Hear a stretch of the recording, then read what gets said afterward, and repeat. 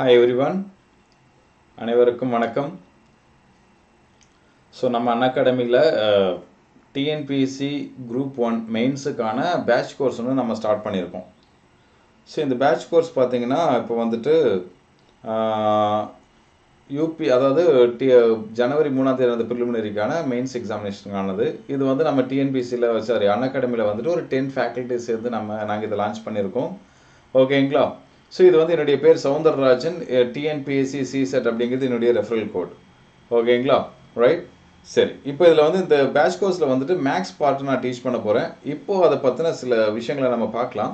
So நம்ம அண்ணா அகாடமியில் பார்த்தீங்கன்னா தமிழ்நாட்டுடைய டாப் எஜுகேட்டர்ஸ் ஸோ நிறைய பேர் கிளாஸ் எடுத்துகிட்டு இருக்காங்க. ஸோ அவங்கலேருந்து ஒரு பேட்ச் நாங்கள் சேர்ந்து இந்த கிராஸ் கோர்ஸ் நாங்கள் ரன் பண்ண போகிறோம் இது வந்து நாளைக்கு ஸ்டார்ட் ஆகுது டிஎன்பிஎஸ்சி குரூப் அண்ட் மெயின்ஸுக்கான பேட்ச் கோர்ஸ் ஸோ இது பாருங்கள் இப்போது இது நான் நீங்கள் ப்ளஸ் கோர்ஸ் சப்ஸ்கிரைப் பண்ணுறதுனால என்ன விதமான பெனிஃபிட்ஸ் உங்களுக்கு இருக்குது அப்படின்னு சொல்லி பார்த்தீங்கன்னா சப்ஜெக்ட் வைஸ் ஸ்ட்ரக்சர்டு கோர்சஸ் நாங்கள் கொடுக்குறோம் உங்களுக்கு. டெய்லி லைவ் கிளாஸஸ் இருக்குது அந்த லைவ் கிளாஸஸில் உங்களுக்கு ரெகுலராக டவுட் கிளியரிங் செஷன் இருக்கும். ஸோ அது ரிலேட்டட் டிஸ்கஷன்ஸ் எல்லாமே இருக்கும். அதே மாதிரி சப்ஜெக்ட் வைஸ் டெஸ்ட் சீரீஸ் ஓகேங்களா ஸோ அது இருக்குது ப்ராக்டிஸ் டெஸ்ட் இருக்குது அது நீங்கள் ஒன்ஸ் ப்ளஸ் கோர்ஸ் சப்ஸ்கிரைப் பண்ணிட்டீங்கன்னு சொல்லி சொன்னால் எல்லா டிஎன்பிசி கண்டென்ட்டுக்கும் அன்லிமிட்டெட் ஆக்சஸ் உங்களுக்கு இருக்குது சரிங்களா? ரைட் சரி. இப்போது நம்ம வெற்றி அப்படின்னு சொல்லிட்டு ஒரு பேட்ச் கோர்ஸ் ஸ்டார்ட் பண்ணியிருக்கோம். ஓகேங்களா இந்த வெற்றி அப்படிங்கிற கோர்ஸ் பார்த்தீங்கன்னா குரூப் ஒன் மெயின்ஸுக்கான ஸ்பெஷலான கோர்ஸ் இது. இது வந்து இப்போ சிபி சார் திவ்யஜனனி மேடம் நான் சவுந்தரராஜன் நான் நித்யா மேம் மகேந்திரன் மகாதேவன் சார் கௌதம் பா ராஜா காளிமுதன் சார் அப்புறம் குபேந்திரன் சார் மரிய ஜேக்கப் சார் யுகசெல்வி எல்லாம் சேர்ந்து ஒரு நல்ல ஒரு டீமாக சேர்ந்து இந்த பேட்ச் கோர்ஸ் ரன் பண்ணுறோம் அதே மாதிரி வீக்கெண்ட் பேட்ச் நீங்கள் வேணும்னாலும் வீக்கெண்ட் வீக்கெண்டுக்கும் தனியாக ஒரு பேட்ச் ஸ்டார்ட் ஆகுது. ஸோ இந்த கோர்ஸ் வந்து ஜனவரி இருபத்தி அஞ்சாம் தேதி உங்களுக்கு ஸ்பெஷலாக வெற்றி அப்படிங்கிற கோர்ஸ் ஸ்டார்ட் ஆகுது. ஜனவரி இருபத்தி மூணாம் தேதி வீக்கெண்ட் பேட்ச்க்கான கோர்ஸ் வந்து உங்களுக்கு ஸ்டார்ட் ஆகுது.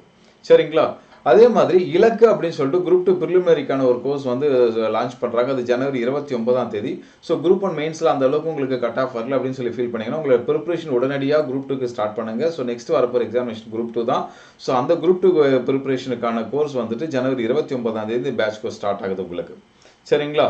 ரைட் அடுத்தது நீங்கள் இப்போ எப்படி சார் சப்ஸ்கிரைப் பண்ணலாம் அப்படின்னு சொல்லி சொன்னால் ப்ளே ஸ்டோரில் போயிட்டு இதை இன்ஸ்டால் பண்ணிக்கோங்க. அன் அகாடமி ஆப் இன்ஸ்டால் பண்ணிவிட்டு ப்ளஸ் அப்படின்னு சொல்லி கிளிக் பண்ணிங்கன்னா உங்களுக்கு கெட் சப்ஸ்கிரிப்ஷன் பட்டன் வரும்.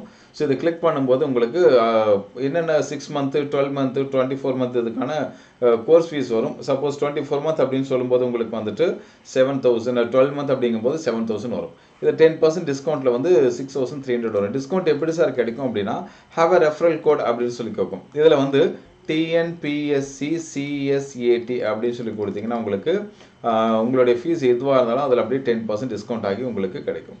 நீங்கள் வந்து கிரெடிட் கார்டு யூஸ் பண்ணலாமா சார்னா தாராளமாக இஎம்ஐ நீங்கள் யூஸ் பண்ணிக்கலாம். கிரெடிட் கார்டில் மந்த்லி இன்ஸ்டால்மெண்ட்டாக கூட நீங்கள் பே பண்ணிக்கலாம்.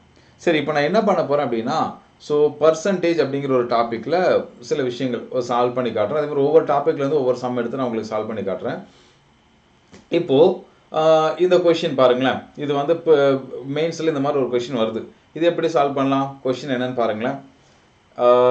A student erroneously multiplied a number by two by five instead of five by two what is the percentage error in the calculation அப்படின்னு சொல்லி கேட்டிருக்காங்க.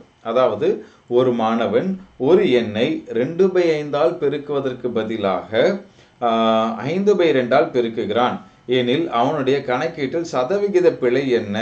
ஓகேங்களா எரர் பர்சன்டேஜ் பர்சன்டேஜ் எரர் அப்படின்னு சொன்னால் என்னங்க? சதவீத பிழை என்னன்னு சொல்லி கேட்டிருக்காங்க. இந்த சம் எப்படி சால்வ் பண்ணலாம்? ஸோ ரெகுலராக இந்த சம்முக்கு வந்து அந்த ஸ்டெப்பெல்லாம் உங்களுக்கு அந்த ஸ்டேட்மெண்ட்டெல்லாம் நீங்கள் எழுதிப்பீங்க. கொடுக்கப்பட்டவை கிவன் என்னெல்லாம் கொடுத்துருக்காங்க? ஸோ டு பி ஃபைண்ட் இதெல்லாம் நீங்கள் எழுதுவீங்க. ஸோ எப்படி இந்த சம் அப்ரோச் பண்ணணும்? இந்த சம்முக்கான ஆன்சர் எப்படி கொண்டு வரணும்? ஏன்னா ப்ரிலிமினரிக்கு நீங்கள் வேறு மாதிரி சால்வ் பண்ணுவீங்க. மெயின்ஸுக்கு வேறு மாதிரி சால்வ் பண்ணணும். இல்லையா? இந்த சம் நம்ம மெயின்ஸில் எப்படி சார் அப்ரோச் பண்ணணும் அப்படிங்கிறத நான் இப்போ சொல்லித்தரேன் இப்போ என்னன்னா ஸோ அந்த ஸ்டெப் நான் சொல்லிடுறேன். அது நீங்கள் ப்ராப்பராக எழுதுறது உங்களுக்கு அந்த நீட்டாக அந்த அண்டர்லைன் பண்ணி அதெல்லாம் நீங்கள் அழகாக பண்ணிடுவீங்க. ஸோ அதுவும் பிரச்சனை கிடையாது.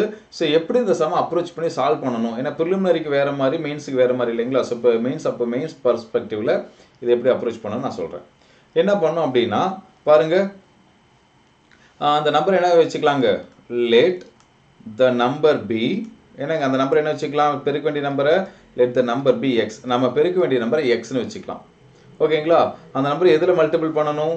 ஸோ இது erroneously multiplied a number by ஓகேங்களா? எரர் ரிசல்ட் இது இதில் எரர் ரிசல்ட் என்னன்னு சொல்லி பார்த்தீங்கன்னா அந்த நம்பர் என்ன பண்ணாங்க அந்த student erroneously multiplied by two by five sir தப்பாக டூ பை ஃபைவ்ல மல்டிபிள் பண்ணிட்டாங்க. ஒரு நம்பரை வந்து ஆக்சுவலாக ஃபைவ் பை டூவில் தான் மல்டிபிள் பண்ணணும். அதை தப்பாக என்ன பண்ணிட்டாங்க? டூ பை ஃபைவ்ல மல்டிபிள் பண்ணிட்டாங்க.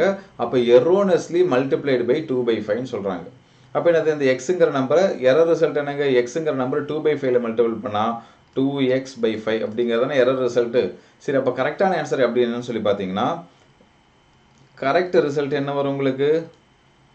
அந்த நம்பர் ஆக்சுவலாக இதில் மல்டிபிள் பண்ணணும்? அந்த எக்ஸுங்கிற நம்பர் எதில் மல்டிபிள் பண்ணணும்? ஃபைவ் பை டூவில் தான் மல்டிபிள் பண்ணணும். ஓகேங்களா கரெக்டான ஆன்சர் வந்து ஃபைவ் பை டூவில் மல்டிபிள் பண்ணணும். அப்போது அந்த எக்ஸை ஃபைவ் பை டூவில் மல்டிபிள் பண்ணிங்கன்னா ஃபைவ் எக்ஸ் பை டூ அப்போ ஒரு நம்பர் எக்ஸ்னு வச்சுட்டோம். அதை டூ பை ஃபைவ்ல மல்டிபிள் பண்ணால் two by two x by five five by டூவில் multiple five x by two இது வந்து எரர் ரிசல்ட்டு இது வந்து கரெக்டான ரிசல்ட் சரி இப்போ இதை வந்து என்ன பண்ண போகிறோம் அப்படின்னா எரர் பர்சன்டேஜ் கண்டுபிடிக்கணும். எரர் பர்சன்டேஜுக்கு என்ன ஃபார்முலா எரர் பர்சன்டேஜ் கண்டுபிடிக்க என்ன ஃபார்முலானா கரெக்ட் வேல்யூ கரெக்ட் ஆன்சர் இல்லை கரெக்ட் வேல்யூ மேலே வந்துட்டு இதில் எதுங்க? Correct value minus wrong value ஓகேங்களா இப்படி போட்டுக்கணும். இதுதான் ஃபார்முலா எரர் இதுக்கு என்னங்க ஃபார்முலா ஸோ கரெக்டான ஆன்சர் எப்பவுமே கீழே போடணும். கரெக்டான ஆன்சருக்கும் ராங்கான ஆன்சருக்கு இருக்கிற டிஃப்ரென்ஸ் வந்து மேலே போடணும். ஓகேங்களா டிஃப்ரென்ஸ் அப்படிங்கும்போது எப்படி வரும்னா அதாவது பெரிய நம்பர்லேருந்து சின்ன நம்பர் சப்ட்ராக்ட் பண்ணணும். இதில் என்ன இது? இதில் வந்து டூ பை ஃபைவ் பெரிய நம்பரா இல்லை ஃபைவ் பை டூ பெரிய நம்பரான்னு பார்த்தீங்கன்னா உங்களுக்கு என்னங்க? ஒரு நிமிஷம்.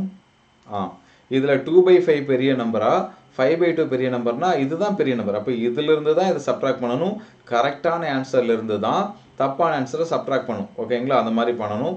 ஸோ அப்போ ஏர் பர்சன்டேஜ் சொல்லும்போது என்ன வருங்க? Correct value minus wrong value by correct value into hundred இதுதான் எரர் பர்சன்டேஜ் அப்போ இது என்ன சார் வரும் அப்படின்னா கரெக்ட் வேல்யூ என்ன இருக்குங்க? கரெக்ட் வேல்யூ வந்துட்டு ஃபைவ் எக்ஸ் பை டூ இல்லையா? கரெக்டான ஆன்சர் என்னங்க? ஃபைவ் எக்ஸ் பை டூ கரெக்டான ஆன்சர் தான் கீழே போடணும். So correct answer minus wrong answer மேலே. கரெக்ட் ஆன்சர் என்னது? Five x by two minus wrong answer என்ன இருக்குங்க? டூ எக்ஸ் பை ஃபைவ் ஓகேங்களா இன் டூ ஹண்ட்ரட் இப்போ இது என்ன பண்ணலாம்? இதுக்கு அடுத்த ஸ்டெப்பு இங்கே என்ன பண்ணலாம்? இந்த இடத்துல என்ன பண்ணலாம்? இதை ஃபர்ஸ்ட் இதை சப்ட்ராக்ட் பண்ணிடலாமா? கீழே இருக்கிறத அப்படியே எழுதிக்கலாம். கீழே என்னங்க? ஃபைவ் எக்ஸ் பை டூ அப்படியே எழுதிக்கலாமா? மேலே என்ன சார் வரும் அப்படின்னா எப்படி ஃப்ரா ஃப்ராக்ஷன் சப்ராக்ஷன் என்ன பண்ணுவீங்க? Product of denominator denominator two fives are ten மேலே என்ன வரும்? ப்ராடக்ட் ஆஃப் டினாமினேட்டர் டினாமினேட்டர் நியூமினேட்டர்னு வருங்க. கிராஸ் மல்டிபிள் பண்ணி ஆட் பண்ணணுமா? அப்போது five x into five twenty five x minus two x into two என்ன வருங்க? ஃபோர் எக்ஸ் இன்ட்டு ஹண்ட்ரட் இல்லையா? இப்போ இது என்ன பண்ணலாம்? ஸோ நெக்ஸ்ட் பேஜில் நான் உங்களுக்கு இது எழுதுறேன் கண்டினியூ பண்ணலாம். ஓகேங்களா கீழே என்ன வரும் அப்படின்னா கீழே வந்து டினாமினேட்டரில் ஃபைவ் எக்ஸ் பை டூ இருக்கும் இல்லையா?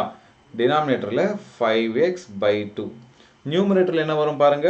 Twenty five x minus four x என்ன வருங்க? Twenty one x by ten இல்லைங்களா? டுவெண்ட்டி ஃபைவ் மைனஸ் ஃபோர் என்னங்க? Twenty one x by ten வரும் மேலே இல்லையா? மேலே வந்து twenty one x by ten வரும். Right into hundred into hundred இதுதாங்க விஷயம். ரைட் இப்போ என்ன பண்ணலாம் அப்படின்னா இஸ் ஈக்குவல் டு இப்போது டொன் இப்போ எப்பவுமே ரெண்டு ஃப்ராக்ஷனை டிவைட் பண்ணும்போது ஒரு ஃப்ராக்ஷன்லேருந்து இன்னொரு ஃப்ராக்ஷனை டிவைட் பண்ணும்போது என்ன பண்ணணும்னா மேலே இருக்கிறத அப்படியே எழுதிக்கணும். என்னங்க? Twenty one x by ten அப்படியே எழுதிட்டு இன் டூ ரைட் கீழே இருக்க அதாவது இந்த மேலே இருக்கிற ஃப்ராக்ஷனை அப்படியே எழுதிட்டு இந்த டிவிஷனை மல்டிப்ளிகேஷனாக மாற்றிட்டு என்ன பண்ணும்? மேலே இருக்கிற ஃப்ராக்ஷனை அப்படியே எழுதிடணும். இந்த டிவிஷனை மல்டிப்ளிகேஷனை மாற்றிட்டு கீழே இருக்கிறத தலைகீழ் எழுதணும். ஃபைவ் எக்ஸ் பை டூ இங்கே என்ன வருங்க டூ பை ஃபைவ் எக்ஸ் அப்படின்னு சொல்லி இங்கே வரும். ஓகேங்களா இங்கே என்ன வரும்? டூ பை ஃபைவ் எக்ஸ் அப்படின்னு சொல்லி வரும். இன் டூ ஹண்ட்ரட் இப்படி போடும்போது நமக்கு ஈஸியாக இருக்கும். என்ன பண்ணலாம்? டென்னையும் ஹண்ட்ரடையும் கேன்சல் பண்ணால் இது போயிடுமா? எக்ஸும் எக்ஸும் கேன்சல் பண்ணிக்கலாமா? அப்போ என்ன வருதுங்க? ஃபைனலாக டுவெண்ட்டி ஒன் இன்ட்டு டூ அது அந்த ஃபைவும் டென்னும் கேன்சல் பண்ணால் ஒரு டூ வரும் இல்லையா? அப்போ two two sir four four into twenty one என்ன வருங்க? எயிட்டி ஃபோர் வரும். ஓகேங்களா? Two two sir four four into twenty one eighty four percentage அப்போது எரர் பர்சன்டேஜ் அப்படின்னு சொல்லும்போது சதவிகித பிழை. எரர் பர்சன்டேஜ் அப்படின்னு சொல்லும்போது எயிட்டி ஃபோர் பர்சன்டேஜ் உங்களுக்கு கிடைக்கும். இதான் ஃபைனல் ஆன்சர் ஓகேங்களா? ஸோ இந்த மாதிரி எல்லா ஸ்டெப்புமே நீங்கள் கொடுக்கணும். ஸோ அந்த மாதிரி let the number be x அதெல்லாம் நீங்கள் பார்த்துக்கோங்க. இந்த மாதிரி ஸ்டேட்மெண்ட்லாம் உங்களுக்கு கரெக்டாக எழுத தெரியும். இது ஃபார்முலா எழுதும்போது எப்பவுமே ஃபார்முலாவுக்கு ஒரு பாக்ஸ் போட்டுக்கோங்க எக்ஸாம் ஹாலில் அதாவது எக்ஸாம் பேப்பரில் வந்து இந்த ஃபார்முலாவெல்லாம் எழுதும்போது அதுக்கு தனியாக ஒரு பாக்ஸ் போட்டு காமிச்சிடணும். அப்போ எரர் பர்சன்டேஜ் ஓகேங்களா? இதுதான். ஸோ கரெக்ட் ஆன்சர் இங்கே மைனஸ் போட்டு அப்படி கரெக்டாக கரெக்டாக மேட்சிங் எழுதி நீங்கள் சால்வ் பண்ணும்போது கரெக்டான ஆன்சர் கிடைச்சிடும் இதில் உங்களுக்கு ஒரு மார்க்கு கூட மைனஸ் பண்ணுறதுக்கான வாய்ப்பு கிடையாது. ஸோ ஸ்டெப் பை ஸ்டெப்பாக எல்லா விஷயங்களையுமே நீங்கள் சொல்லிடுறீங்க இல்லையா? அதனால் எதுவுமே உங்களுக்கு நெகட்டிவாக போகிறதுக்கான வாய்ப்புகள் கிடையாது. ஓகேங்களா? எல்லாருக்கும் புரிஞ்சிருச்சு இல்லையா? ரைட் அடுத்து. சரி நெக்ஸ்ட்டு இன்னொரு சம் என்னென்னு பார்க்கலாம். இந்த மாதிரி ஒரு சம் கேட்குறாங்க என்ன கேட்டிருக்காங்க அப்படின்னா இந்த சம் எப்படி சால்வ் பண்ணலாம்? ஒரு தடவை படித்து பாருங்க இந்த சம் எப்படி அப்ரோச் பண்ணலாம்? இரண்டு கை கடிகாரங்கள் இது வந்து ப்ராஃபிட் அண்ட் லாஸ்லேருந்து ஒரு சின்ன சம் ஓகேங்களா? இந்த மாதிரி சம் எப்படி சார் அப்ரோச் பண்ணி நம்ம மெயின்ஸில் எழுதணும்? ஓகேங்களா? அதை பார்க்கலாமா? இரண்டு கை கடிகாரங்கள் ஒவ்வொன்றையும் ரூபாய் ஐ இது வந்து ஆக்சுவலாக போன வருஷம் டூ தௌசண்ட் நைன்டீன் குரூப் ஒன்ல கேட்ட கொஷினுங்க சரிங்களா? இரண்டு கை கடிகாரங்கள் ஒவ்வொன்றையும் ரூபாய் ஐநூத்தி தொண்ணூற்றி நாலுக்கு ஒருவர் விற்றார். வித்துட்டார். சரிங்களா? ஒவ்வொன் ஒவ்வொன்றையும்ங்கிற வார்த்தை ரொம்ப முக்கியம். ரெண்டு சேர்ந்து ஐநூத்தி தொண்ணூற்றி நாலு கிடையாது. ஒவ்வொன்றையும் ஐநூத்தி தொண்ணூற்றி நாலு அப்படின்னா ரெண்டு வாட்ச் இருக்குன்னா ஒரு வாட்சையும் ஃபைவ் நைன்டி ஃபோர் இன்னொரு வாட்சையும் ஃபைவ் நைன்டி ஃபோருக்கு சேல் பண்ணியிருக்காங்க. சரிங்களா? இப்போ என்னாச்சு? அப்படி சேல் பண்ணதுக்கப்புறம் இவ்வாறு விற்றதில் ஒன்றில் பத்து சதவிகிதம் லாபமும் மற்றதில் பத்து சதவீதம் நட்டமும் அவருக்கு ஏற்பட்டது. ஸோ ரெண்டு வாட்ச் என்கிட்ட இருக்கு. ரெண்டு வாட்சில் இதையும் ஃபைவ் நைன்ட்டி ஃபோருக்கு சேல் பண்ணுறேன் இன்னொன்னையும் ஃபைவ் நைன்ட்டி ஃபோருக்கு சேல் பண்ணிட்டேன். இப்படி சேல் பண்ண போகிறோம் ஒரு வாட்ச் ஃபைவ் நைன்ட்டி ஃபோருக்கு சேல் பண்ண இல்லைங்களா? அதில் எனக்கு ten percentage loss okay profit ஒன்றில் வந்து டென் பர்சன்டேஜ் ப்ராஃபிட் இன்னொரு வாட்சும் ஃபைவ் நைன்ட்டி ஃபோருக்கு சேல் பண்ண இல்லைங்களா? ஃபைவ் நைன்ட்டி ஃபோருக்கு சேல் பண்ணதுனால எனக்கு டென் பர்சன்டேஜ் லாஸ் ஒன்றில் ப்ராஃபிட் ஒன்றில் லாஸ் ஓகேங்களா மொத்தத்தில் அவருக்கு ஏற்பட்ட லாபம் அல்லது நட்ட சதத்தை காண்க. ஓவராலாக ப்ராஃபிட் வந்துச்சா லாஸ் வந்துச்சா அது எவ்வளோ பர்சன்டேஜ் அப்படின்னு சொல்லி நம்ம கண்டுபிடிக்கணும். சரி இதுதான் கதை. ஓகே இப்போ கொஸ்டின் என்னன்னு கிளியராக புரிஞ்சுக்கணுங்க. மெயின்ஸை பொறுத்த வரைக்கும் கொஸ்டின் கரெக்டாக அண்டர்ஸ்டாண்ட் பண்ணதுக்கப்புறம் இது எப்படி சார் சால்வ் பண்ணணும் அப்படின்னா எப்பவுமே ஒரு கொஸ்டின் என்ன கேட்டிருக்காங்க? ஃபைனலாக இருக்கிறத ஒரு தடவை படித்து பாருங்க. என்ன இருக்கு? மொத்தத்தில் அவருக்கு ஏற்பட்ட லாபம் அல்லது நட்ட சதவீதத்தை காண்க. Total profit or loss percentage என்ன அப்படிங்கிறது கேட்டிருக்காங்களா? உங்களுக்கு ப்ராஃபிட் பர்சன்டேஜ் கண்டுபிடிக்கணும்னாலும் சரி லாஸ் பர்சன்டேஜ் கண்டுபிடிக்கணும்னாலும் சரி என்ன பண்ணணும் அப்படின்னா காஸ்ட் ப்ரைஸ் செல்லிங் ப்ரைஸ் ரெண்டுமே வேணும். இது என்னது? ஃபைவ் நைன்டி ஃபோருங்கிறது என்னது? செல்லிங் ப்ரைஸா ரைட் ஃபைவ் நைன்டி ஃபோர் அப்படிங்கிறது என்னங்க? செல்லிங் ப்ரைஸ் அப்போ செல்லிங் ப்ரைஸ் கொடுத்துட்டாங்க. ஓகேங்களா அப்போ உங்களுக்கு காஸ்ட் ப்ரைஸ் வேணும். காஸ்ட் ப்ரைஸ் தெரியாது. காஸ்ட் ப்ரைஸ் இருந்தால் தான் உங்களுக்கு ப்ராஃபிட் பர்சன்டேஜோ லாஸ் பர்சன்டேஜோ கண்டுபிடிக்க முடியும். அப்போ என்ன பண்ணலாம்னா let the cost price of first war watch. என்னங்க? ஃபஸ்ட் வாட்ச் என்ன சொல்லுவாங்க first wrist watch.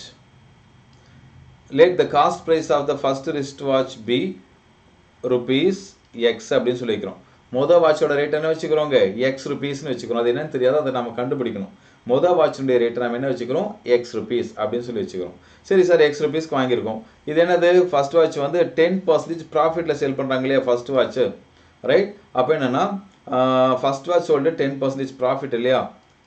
First wrist watch sold at ten percentage profit இது வந்து கொடுத்துருக்காங்க. Therefore the selling price. Selling price of first wristwatch. Therefore the selling price of the first wristwatch is equal to ஒரு வாட்சை வந்து ten percent லாஸ்ட்ல ஒருத்தங்க sale பண்றாங்கன்னா அப்போ எவ்வளவு சேல் பண்ணியிருப்பாங்க ஓகேங்களா? எவ்வளோ செல் பண்ணியிருப்பாங்கன்னா அது வந்து நைன்ட்டி பர்சன்டேஜ் ரேட்டுக்கு செல் பண்ணியிருப்பாங்க அதே ஒரு வாட்சை வந்து டுவெண்ட்டி பர்சன்ட் ப்ராஃபிட்டில் செல் பண்ணுறாங்கன்னு வச்சுக்கோங்களேன். அது எவ்வளோ செல் பண்ணியிருப்பாங்க ஒன் டுவெண்ட்டி பர்சன்டேஜ் செல் பண்ணியிருப்பாங்க இது உங்களுக்கு ஆல்ரெடி தெரியும் இல்லைங்களா? அதே டூ பர்சன்டேஜ் லாஸ் அப்படின்னா எவ்வளோ செல் பண்ணியிருப்பாங்க டூ பர்சன்டேஜ் லாஸ் அப்படிங்கும்போது நைன்டி எயிட் பர்சன்டேஜ் சேல் பண்ணியிருப்பாங்க ஓகேங்களா ஸோ இதுதான் கதை. இப்போது the selling price of the first wrist watch என்னங்க? டென் பர்சன்டேஜ் லாஸ் அப்படிங்கிறதுனால ninety percentage of its cost price அதோட காஸ்ட் ப்ரைஸ் எக்ஸ் தான் இல்லையா? நைன்டி பர்சன்டேஜ் ஆஃப் எக்ஸ் அப்படின்னு என்ன வருங்க? Therefore ninety percentage of x is equal to என்னங்க சொல்லாங்க? அதுதான் selling price five ninety four five ninety four ஓகேங்களா? செல்லிங் ப்ரைஸ் செல்லிங் ப்ரைஸ் அது ரெண்டுமே செல்லிங் ப்ரைஸ் இல்லைங்களா? ஸோ செல்லிங் ப்ரைஸ் இது வந்து நைன்டி பர்சன்டேஜ் ஆஃப் எக்ஸுங்கிறது தான் செல்லிங் ப்ரைஸ் அதனால் செல்லிங் ப்ரைஸ் வந்து ஃபைவ் நைன்டி ஃபோர் அப்படின்னு சொல்லி எழுதிட்டோம். ஓகேங்களா? Selling price of first watch இப்படி எழுதிக்கலாம். அப்போது ninety percentage of x is equal to five ninety ஃபோர்னு வரும். அப்போ எக்ஸ் என்னங்க வரும்? Five ninety four into ninety by hundred அந்த பக்கம் போகும்போது ஹண்ட்ரட் பை நைன்ட்டியாக மாறிடும். இல்லையா? இது கேன்சல் பண்ண என்ன சார் வரும்னா x equal to zero zero ஓரொம்பது ஒம்பது ஆறொம்பது ஐம்பத்தி நாலு ஆறொம்பது ஐம்பத்தி நாலு ஆறுநூற்றி அறுபது. இந்த ஆறுநூற்றி அறுபதுங்கிறது என்னது? எக்ஸ் எக்ஸுங்கிறது என்னது? Cost price of the first wrist watch அப்போ இங்கே எழுதிக்கலாம். Cost price of the first wrist watch x is equal to six hundred and sixty நான் சொல்லலைங்களா ப்ராஃபிட் பர்சன்டேஜோ லாஸ் பர்சன்டேஜோ கண்டுபிடிக்கணும்னா உங்களுக்கு கண்டிப்பாக ஏன்னா இங்கே லாஸ் பர்சன்டேஜ் இல்லைன்னா ப்ராஃபிட் பர்சன்டேஜ் எதை கண்டுபிடிக்கணும்னாலும் காஸ்ட் ப்ரைஸ் வேணும். இப்போ ஃபர்ஸ்ட் வாட்சோட காஸ்ட் ப்ரைஸ் கண்டுபிடிச்சிட்டோமா? அதே மாதிரி செகண்ட் வாட்சோட காஸ்ட் ப்ரைஸும் இதே ஸ்டெப்பில் கண்டுபிடிக்கணும். என்னது? Let the cost price of second watch second watch என்ன வச்சுக்கலாங்க? Let the cost price of the second watch be y rupees அதை ஒய் ருபீஸ்னு வச்சுக்கலாம். அப்போது செகண்ட் வாட்ச் எப்படி செல் பண்ணாங்க? டென் பர்சன்ட் ப்ராஃபிட்டில் செல் பண்ணாங்களா? ரைட் அப்போது செகண்ட் வாட்ச் வந்து டென் பர்சன்ட் ப்ராஃபிட்டில் செல் பண்ணாங்க அப்படின்னா the sell the second watch the second watch sold at ten percentage profit second watch வந்து டென் பர்சன்ட் ப்ராஃபிட்டில் தான் சேல் பண்ணாங்க. Therefore the selling price of therefore the selling price of second watch is equal to எனக்கு ten percent ப்ராஃபிட்டில் sale பண்ணுறாங்க நான் முதலே சொன்னேன். காஸ்ட் ப்ரைஸ் வந்து ஹண்ட்ரட் பர்சன்டேஜ் வச்சுக்கோங்க. டென் பர்சன்ட் ப்ராஃபிட் அப்படின்னா hundred and ten percentage sale பண்ணியிருப்பாங்க அதே ஃபைவ் பர்சன்டேஜ் லாஸ் அப்படின்னா நைன்டி ஃபைவ் பர்சன்டேஜ் சேல் பண்ணியிருப்பாங்க இது ஆல்ரெடி நமக்கு தெரியும். ஸோ இந்த இடத்துல டென் பர்சன்ட் ப்ராஃபிட்டில் சேல் பண்ணுறதுனால அவங்க எப்படி சேல் பண்ணியிருப்பாங்க hundred and ten percentage of y ஒய்ங்கிறது தான் அதனுடைய காஸ்ட் ப்ரைஸ் அது என்ன காஸ்ட் ப்ரைஸோ அதனுடைய ஒன் டென் பர்சன்ட் சேல் பண்ணியிருப்பாங்க அப்போ one ten percentage of x y அப்படிங்கிறது தான் அதனுடைய செல்லிங் ப்ரைஸ் இது என்ன வச்சுக்கலாங்க? ஃபைவ் நைன்ட்டி ஃபோர் ஏன்னா ரெண்டுனுடைய செல்லிங் ப்ரைஸும் ஃபைவ் நைன்ட்டி ஃபோர்னு கொஷினில் கொடுத்துருக்காங்க. செல்லிங் ப்ரைஸ் ரெண்டுனுடைய செல்லிங் ப்ரைஸ் என்னதாங்க? ஓகேங்களா the a man sells two wrist watch five ninety four each ஒவ்வொன்றையும் ஃபைவ் நைன்ட்டி ஃபோர் தான் செல் பண்ணியிருப்பாங்க அப்போ அதோட ரேட்டும் ஃபைவ் நைன்ட்டி ஃபோர் தான். அப்போ one ten percentage of y is equal to five ninety four அப்போ ஒய் என்னன்னு சொல்லி கண்டுபிடிச்சிடலாமா? ஒய் என்ன வரும் உங்களுக்கு? Five ninety four into one ten by hundred ஈக்குவலுக்கு இந்த பக்கம் போகும்போது என்ன ஆகிடுங்க ஹண்ட்ரட் பை ஒன் டென் ஆகிடும் இதை கேன்சல் பண்ணும்போது ஜீரோ ஜீரோ கட் பண்ணிடலாம். லெவனும் ஃபைவ் நைன்டி ஃபோரும் கட் பண்ணிங்கன்னா ஃபிஃப்டி ஃபோர் அப்போ ஒய் என்ன வருங்க? ஃபைவ் ஹண்ட்ரட் அண்ட் ஃபார்ட்டின்னு வந்துடும் இல்லையா? இப்போ ஒய் அப்படிங்கிற நம்ம என்ன வச்சோம்? The cost price of the second watch அதான் இல்லைங்களா ஒய்னு வச்சோம். அப்போ ஒய் அப்படிங்கிறது என்னங்க? The cost price of second watch அப்படின்னு போட்டு ஒய்னு போட்டுக்கோங்க. அப்போ நம்ம கா ஃபஸ்ட் கொஷினில் என்ன கேட்டிருந்தாங்க இந்த இடத்துல? ஸோ கொஷின் திரும்ப ஒரு தடவை பார்க்கலாம். என்ன கேட்டிருக்காங்க அப்படின்னா find his gain or loss percentage on the whole so gain பர்சன்டேஜோ loss பர்சன்டேஜோ கண்டுபிடிக்கணும்னா நமக்கு காஸ்ட் ப்ரைஸ் வேணும் செல்லிங் ப்ரைஸ் வேணும். கொஷினில் செல்லிங் ப்ரைஸ் கொடுத்துட்டாங்க ஃபைவ் நைன்ட்டி ஃபோர் ஓகேங்களா கொஷினில் என்ன பண்ணிட்டாங்க? ஸோ செல்லிங் ப்ரைஸ் கொடுத்துட்டாங்க. ஒவ்வொரு வாட்சோடைய செல்லிங் ப்ரைஸ் வந்து ஃபைவ் நைன்ட்டி ஃபோர்னு சொல்லிட்டாங்க. செல்லிங் ப்ரைஸ் நமக்கு தெரியும். அப்போ என்ன நம்ம கண்டுபிடிக்கணும்? காஸ்ட் ப்ரைஸ் கண்டுபிடிக்கணும். ஸோ ஃபர்ஸ்ட் வாட்சோட காஸ்ட் ப்ரைஸ் சிக்ஸ் சிக்ஸ்டீன் கண்டுபிடிச்சிட்டோம். செகண்ட் வாட்சோட காஸ்ட் ப்ரைஸ் ஃபோ ஃபைவ் ஃபார்ட்டின்னு சொல்லி கண்டுபிடிச்சிட்டோம். இப்போ என்ன பண்ணணுங்க? நம்ம என்ன கண்டு ப்ராஃபிட் பர்சன்டேஜ் கண்டுபிடிக்கணும் இல்லையா? அப்போ ப்ராஃபிட்டாக லாஸ் இந்த இடத்துல சரி நம்ம எப்படி கண்டுபிடிக்கலாம்னா the total cost of two watches ரெண்டு வாட்சும் சேர்ந்து டோட்டல் காஸ்ட் எவ்வளோ வருதுங்க? ஃபர்ஸ்ட் வாட்ச் வந்து சிக்ஸ் சிக்ஸ்டி ருபீஸ்னு கண்டுபிடிச்சோமா?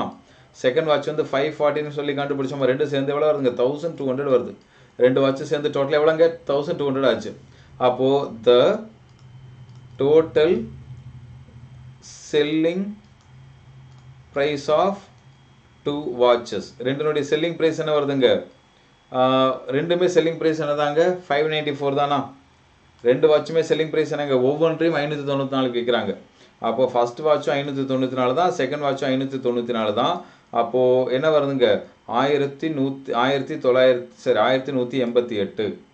ஓகேங்களா ஆயிரத்தி நூற்றி இது வந்து டோட்டல் காஸ்ட் ப்ரைஸு இது டோட்டல் செல்லிங் ப்ரைஸ் கரெக்டாக அப்போ இந்த இடத்துல இங்கேயே சால்வ் பண்ணலாம். அப்போது ப்ராஃபிட் இல்லை இந்த ப்ராஃபிட்டாக லாஸா சார் வாங்கினது ஆயிரத்தி இரநூறுக்கு.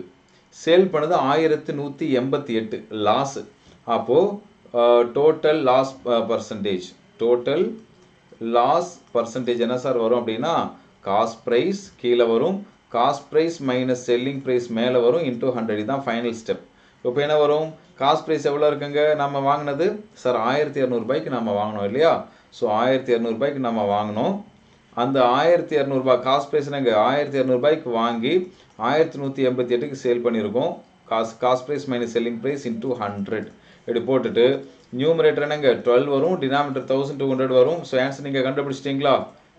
ரைட் அவ்வளோதாங்க அதே தான் ஆன்சர் ஸோ கேன்சல் பண்ணால் ஒன் பர்சன்டேஜ் ஓகேங்களா அப்போது டோட்டல் லாஸ் பர்சன்டேஜ் என்னங்க? ஒன் பர்சன்டேஜ் இவ்வளோதாங்க ஸோ இந்த மாதிரி பண்ணும்போது உங்களுக்கு முழு மார்க் கிடைக்கும். எதுலேயுமே உங்களுக்கு மார்க் குறையிறதுக்கு வாய்ப்பே கிடையாது.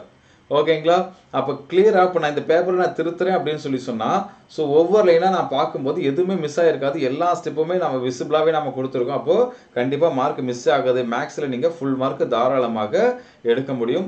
ஸோ சப்போஸ் நீங்கள் நோட்டு வச்சுருந்தீங்கன்னா இந்த வீடியோவை திரும்ப ஒரு தடவை பார்க்கும்போது லைன் பை லைனாக எழுதி வச்சுக்கோங்க.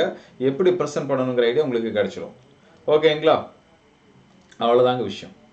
சரி இப்போ இந்த ஒரு சம் இருக்குது இந்த சம் எப்படி சால்வ் பண்ணலாம்? என்னது? சதுரத்தின் அனைத்து பக்கங்களும் இருபத்தைந்து சதவீதம் அதிகமாகும் எனில் பரப்பளவில் ஏற்படும் சதவீத மாற்றம் காண்க. ஓகேங்களா இது எப்படி சால்வ் பண்ணலாம்னா சிம்பிளாக நான் சொல்ல அந்த ஸ்டேட்மெண்ட் எல்லாம் லெட் த நம்பர் பி அதெல்லாம் நீங்கள் பார்த்துக்கோங்க. ஓகேங்களா இல்லை நம்பர் எக்ஸ்னு வச்சுக்கலாம். அதெல்லாம் நீங்கள் எழுதிக்கோங்க. எப்படி பண்ணணுங்கிறத மட்டும் கட கடை நான் சொல்லி முடிச்சிடறேன். சரிங்களா? ஒரு ஸ்கொயருடைய எதுனா இது ப்ரிலிமினரி இல்லைன்னா ஷார்ட்கட்டில் முடிச்சிடலாம். X plus y plus x y by ஹண்ட்ரட்னு ஒரு ஃபார்முலா இருக்குது மெயின்ஸில் இதுக்கு ஒரு பத்து மார்க்கு கொடுக்குறாங்கன்னா நீங்கள் இதுக்கு ஃபார்முலா ஒன்று இருக்குங்க. X plus y plus x y by hundred அப்படின்னு சொல்லி சொல்லுவாங்க. பர்சன்டேஜ் சே சேஞ்ச் இன் ஏரியா அப்படின்னு சொல்லும்போது இந்த ஃபார்முலா யூஸ் பண்ணிக்கலாம். என்ன வரும்? எக்ஸும் வந்து உங்களுக்கு இருபத்தி அஞ்சு ஒய்யும் உங்களுக்கு இருபத்தி அஞ்சு ப்ளஸ் எக்ஸ் இன்ட்டு ஒய் இருபத்தி அஞ்சு இன்ட்டு இருபத்தி அஞ்சு பை நூறு. இது ஒரு ஃபார்முலா அப்போ இருபத்தஞ்சு இருபத்தஞ்சுனாங்கிற ஐம்பது வரும் ப்ளஸ் இது ரெண்டையும் கேன்சல் பண்ணால் நாலு டுவெண்ட்டி ஃபைவ் பை ஃபோர் வந்து சிக்ஸ் பாயிண்ட் டூ ஃபைவ் வரும். அப்போ ஃபைனலாக வேணுங்க fifty six point two five பர்சன்டேஜ்னு எழுதுவோம். ஆக்சுவலாக பிரிலிமினரியில் வந்து நீங்கள் இது பண்ணலாம். என்னங்க? பர்சன்டேஜ் சேஞ்ச் இன் ஏரியா பரப்பளவில் ஏற்படும் சதவிகித மாற்றம் அப்படின்னு சொன்னால் x plus y plus x y by hundred formula use பண்ணலாம். எக்ஸும் இருபத்தஞ்சு தான். ஒய் ஒய் இருபத்தஞ்சு தான். இது வந்து ஆக்சுவலாக எக்ஸ் ஸ்கொயர் ஆக்சுவலாக இப்போ ஒவ்வொன்றுக்கும் ஒவ்வொரு ஃபார்முலா வருங்க. இந்த இடத்துல இது வந்து ஸ்கொயருங்கிறதுனால கொஞ்சம் வேறு மாதிரி கொடுக்குறேன் நான். ஆக்சுவலாக இதே தான் எக்ஸ் ஒய் தான். ஸ்கொயருங்கும் போது உங்களுக்கு நான் வேறு மாதிரி கொடுக்குறேன். ஃபார்முலா எப்படி தெரியுங்களா? வரும். ஏன்னா இது வந்து ரெக்டாங்கிளுக்கு தான் இந்த ஃபார்முலா ஸ்கொயருக்கு ஃபார்முலா வேறு. ஸ்கொயருக்கு என்ன வரும்? Two x plus x square by ஹண்ட்ரட்னு சொல்லுவாங்க. சொல்லப்போனால் அதை எக்ஸுக்கு எக்ஸுக்கு பதிலாக எக்ஸு ஒய்க்கு பதிலாக எக்ஸு போட்டிங்கன்னா இந்த ஃபார்முலா வரும். வேறு ஒன்றும் இல்லை. அப்போ percentage change in area of square இதுதான் ஃபார்முலா ஒரு சதுரத்தின் பரப்பளவில் ஏற்படும் சதவிகித மாற்றம் அப்படின்னு சொல்லி போட்டுட்டு எக்ஸுங்கிறது என்ன இந்த இடத்துல? டுவெண்ட்டி ஃபைவ் வருமா? அப்போ two into twenty five plus twenty five square by hundred apply பண்ணிங்கன்னா ஆன்சர் கிடச்சிரும். டூ இன்டூ டுவெண்ட்டி ஃபைவ் என்னங்க? Fifty plus six twenty five by hundred அப்படின்னு சொல்லும்போது fifty plus six point two ஃபைவ்னு போட்டுட்டு அப்போ நாங்கள் fifty six point two five percentage அப்படின்னு வரும். சார் எவ்வளோ ஈஸி இவ்வளோ ஈஸி கொஷின்ஸ் கேட்பாங்களா? கண்டிப்பாக கேட்பாங்கங்க. ஆக்சுவலாக இது ப்ரீவியஸ் இயர் கொஷின் பேப்பர் இது. ரெண்டாயிரத்தி பதினேழு கொஷின் பேப்பர் இருக்குது பார்த்தீங்களா இது வந்து டென் மார்க் கொஷின் தான். ஓகேங்களா? ரெண்டாயிரத்தி பதினேழில் டூ தௌசண்ட் செவன்டீனில் இருந்த குரூப் ஒன் கொஷின் தான் அது ஆக்சுவலாக ஓகேங்களா? அப்போ இந்த மாதிரி கொஷின்ஸ் வரும். இந்த மாதிரி சால்வ் பண்ணால் முழு மார்க் தருவாங்களா அப்படிங்கிறத விட நீங்கள் வந்து இன்னும் கொஞ்சம் டே டென் மார்க் கொஷின் இல்லை ஃபிஃப்டீன் மார்க்கில் கேட்டாங்க. இதை வந்து ஃபைவ் மார்க்கில் கேட்டாங்கன்னா அப்படின்னு சொல்லி சொன்னால் ரொம்ப சுலபமாக இந்த மாதிரி பண்ணிடலாம். இதே கொஞ்சம் பெரிய கேள்வி ஃபிஃப்டீன் மார்க்கில் கேட்கும்போது நீங்கள் ஃபார்முலாலாம் யூஸ் பண்ணக்கூடாது. உங்களுக்கு ஒரு பதினஞ்சு மார்க் கொடுக்குறாங்கன்னா அதுக்கு ஒர்த்தான கண்டென்ட் நீங்கள் கண்டிப்பாக கொடுக்கணும். ஆக்சுவலாக இந்த கொஷின் வந்துட்டு uh, டென் மார்க்கோ அதுக்கு கீழே மார்க் வரும்போது நீங்கள் இது யூஸ் பண்ணிக்கலாங்க. ரைட் இந்த ஃபார்முலா யூஸ் பண்ணி சால்வ் பண்ணலாம். ஆனால் இதே கொஷினை ஃபிஃப்டீன் மார்க்லேயும் கேட்பாங்க. அவங்க எப்படி வேணாலும் கேட்பாங்க. அப்போ என்ன சார் பண்ணணும் அப்படின்னா அப்போ என்ன பண்ணணுங்கிறது இப்போ நான் சொல்லித்தரேன். ஓகேங்களா ஒரு இது வந்து ஆக்சுவலாக let the side of a square be அதெல்லாம் நீங்கள் அந்த ஸ்டேட்மெண்ட்டாக எழுதிக்கோங்க. நான் சிம்பிளாக ஆன்சர் மட்டும் சொல்லி முடிச்சிடறேன். சரிங்களா? ஒரு ஸ்கொயரோடைய சைடு வந்து ஹண்ட்ரட் எக்ஸ்னு வச்சுக்கோங்க. சைடு என்ன வச்சுக்கலாங்க? ஏன் சார் ஹண்ட்ரட் எக்ஸ் வைக்கிறீங்கன்னா டெசிமில் அவாய்ட் பண்ணுறதுக்காக நான் ஹண்ட்ரட் எக்ஸ்னு வைக்கிறேன். இப்போது நீங்கள் படம் கூட வரைஞ்சிக்கலாம். ஒரு ஸ்கொயருடைய சைடு வந்து ஹண்ட்ரட் எக்ஸ் ஹண்ட்ரட் எக்ஸ் அப்படின்னு சொல்லி நம்ம வச்சுக்கிறோம்.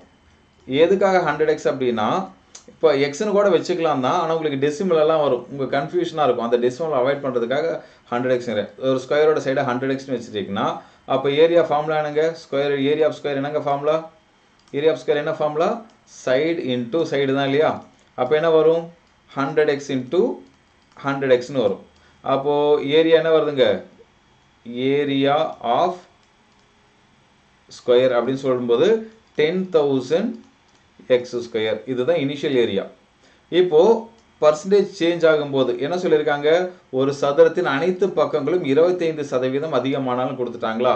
அப்போது இது என்ன வருங்க? ஹண்ட்ரட் எக்ஸாக இருக்கிறது டுவெண்ட்டி ஃபைவ் பர்சன்டேஜ் இன்க்ரீஸ் ஆகும்போது ஒன் டுவெண்ட்டி ஃபைவ் எக்ஸாக மாறும். ஸோ இப்போ ஏன்னா ஹண்ட்ரட் எக்ஸாக வச்சுன்னு புரியுது இல்லைங்களா? இந்த ஹண்ட்ரட் எக்ஸுக்கு பதிலாக ஒரு நீங்கள் எக்ஸ்னு வச்சிருந்தாலும் ஆன்சர் கண்டிப்பாக கிடைக்குங்க. ஆன்சர்லாம் மாறாது. இதுக்கு பதிலாக நீங்கள் எக்ஸ்னு வச்சுருந்தீங்கன்னா அது டுவெண்ட்டி ஃபைவ் பர்சன்டேஜ் இன்க்ரீஸ் ஆகும்போது ஒன் பாயிண்ட் டூ ஃபைவ் எக்ஸ்னு டெசிமலெலாம் வரும். என்ன வருங்க? இங்கே வெறும் எக்ஸ் மட்டும் வச்சுருந்தீங்கன்னா இது டுவெண்ட்டி ஃபைவ் பர்சன்டேஜ் இன்க்ரீஸ் ஆச்சுன்னா ஒன் பாயிண்ட் டூ ஃபைவ் எக்ஸ்னு வரும். அதை அவாய்ட் பண்ணுறதுக்காக என்ன வச்சுட்டாங்க? இதை ஹண்ட்ரட் எக்ஸ்னு வச்சு டுவெண்ட்டி ஃபைவ் பர்சன்டேஜ் இன்க்ரீஸ் ஆகும்போது ஒவ்வொரு சைடுமே டுவெண்ட்டி ஃபைவ் பர்சன்டேஜ் இன்க்ரீஸ் ஆகி ஒன் டுவெண்ட்டி ஃபைவ் எக்ஸ் இப்படி ஆயிடுச்சு.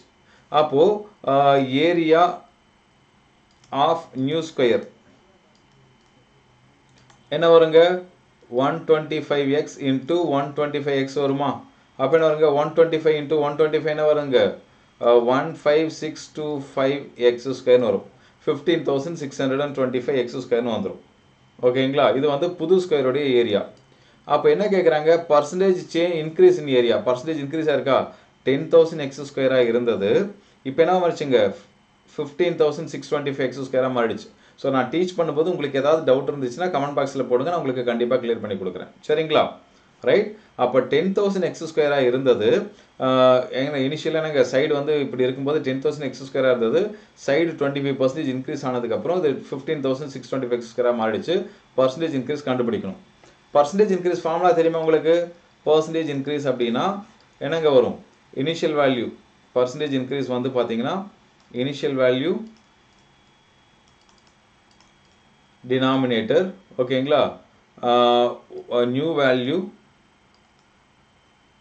minus minus old value into hundred இதுதான் பர்சன்டேஜ் இன்க்ரீஸ் இனிஷியல் வேல்யூ எவ்வளோ அது? Ten thousand x square new value என்னங்க?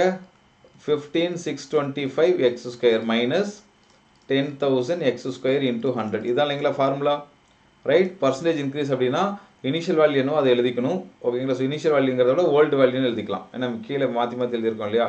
ஸோ ஒரே பேரில் கொடுத்துக்கிறேன். இனிஷியல் வேல்யூங்கிறது என்னங்க? ஓல்டு வேல்யூ அப்படின்னு கூட எழுதிக்கலாம். ரைட் ஓல்டு வேல்யூ இப்போ என்ன வரும்? கீழே வந்து ten thousand x square okay தான். மேலே ஒரு சப்ட்ராக்ட் பண்ணும்போது five six two five x square into hundred இப்போ இதில் x square x square cut ஆகிடும் ஹண்ட்ரடுக்கு இந்த ரெண்டு டபுள் ஜீரோ கட் ஆகிடும் அப்போ ஃபைனல் என்ன வருங்க? Five thousand six hundred and twenty five by hundred அப்படின்னு போட்டிங்கன்னா fifty six point two five percentage அப்போ percentage increase in area of square என்ன வந்துருச்சுங்க fifty six point two five percentage அப்படின்னு சொல்லி வரும். கொஞ்சம் முன்னாடி இதே ஆன்சர் தான் வந்துச்சு இல்லையா?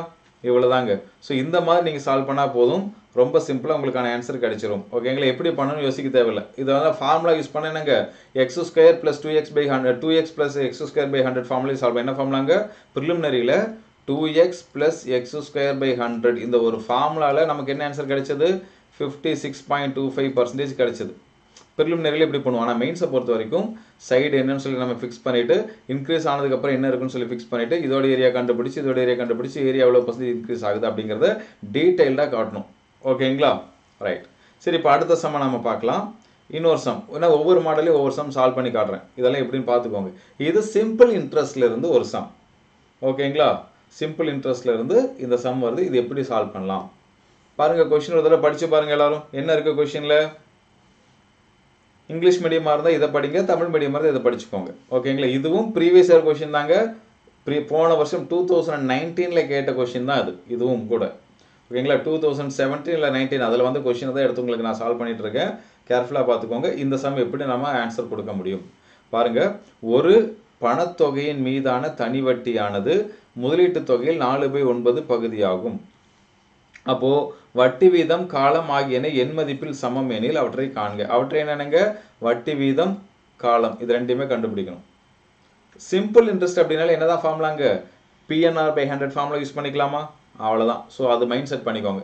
அப்போ நமக்கு பிரின்சிபல் அமௌண்ட் வேணும் நம்பர் ஆஃப் இயர்ஸ் வேணும் ரேட் ஆஃப் இன்ட்ரெஸ்ட் வேணும். கடைசியாக சிம்பிள் இன்ட்ரெஸ்ட் இந்த நாலு விஷயம் தான் தனி வட்டின்னு கொடுத்துட்டாலே பிஎன்ஆர் சிம்பிள் இன்ட்ரெஸ்ட் இந்த நாலு விஷயம் இருந்தாலே பண்ணிடலாம். சரி ஃபஸ்ட்டு பிரின்சிபல் அமௌண்ட் கொடுத்துருக்காங்களா? கிவனில் இதெல்லாம் எழுதிக்கணும். கிவன் அப்படின்னு போட்டு அதெல்லாம் நீங்கள் பண்ணிப்பீங்க.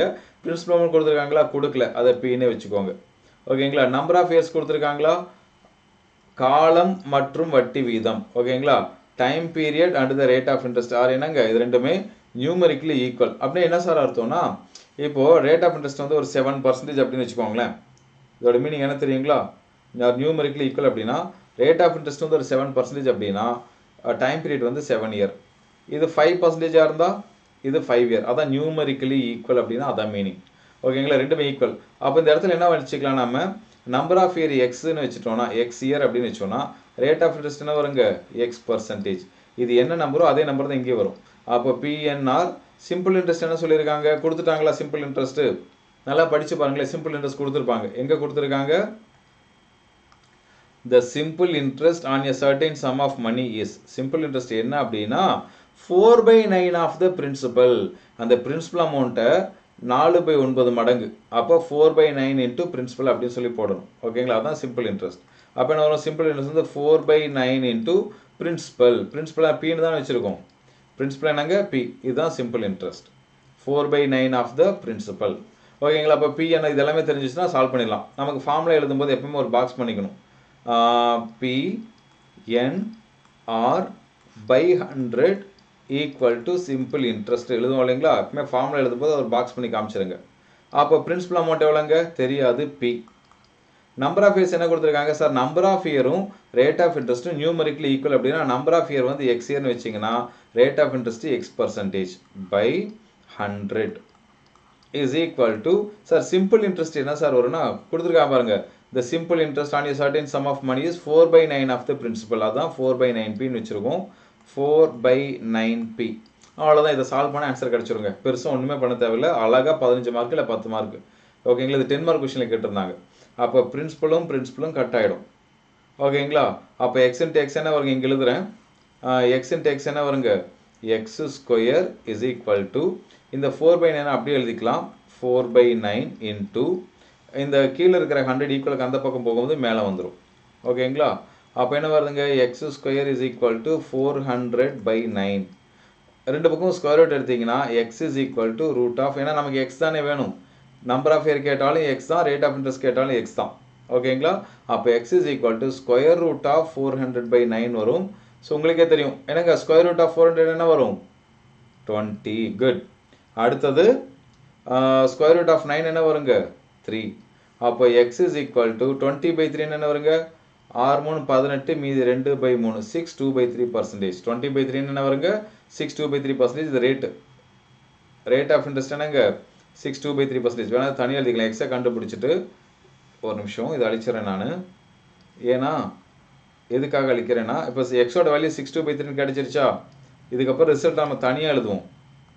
X equal to six two by த்ரீனா rate of interest வந்துட்டு சிக்ஸ் டூ பை த்ரீ ஓகேங்களா? Six two by three percentage இது ஒரு ஆன்சர் நம்பர் ஆஃப் இயர் என்ன வரும்னா six two by three year இன்னொரு விஷயம் சொல்லட்டுமா?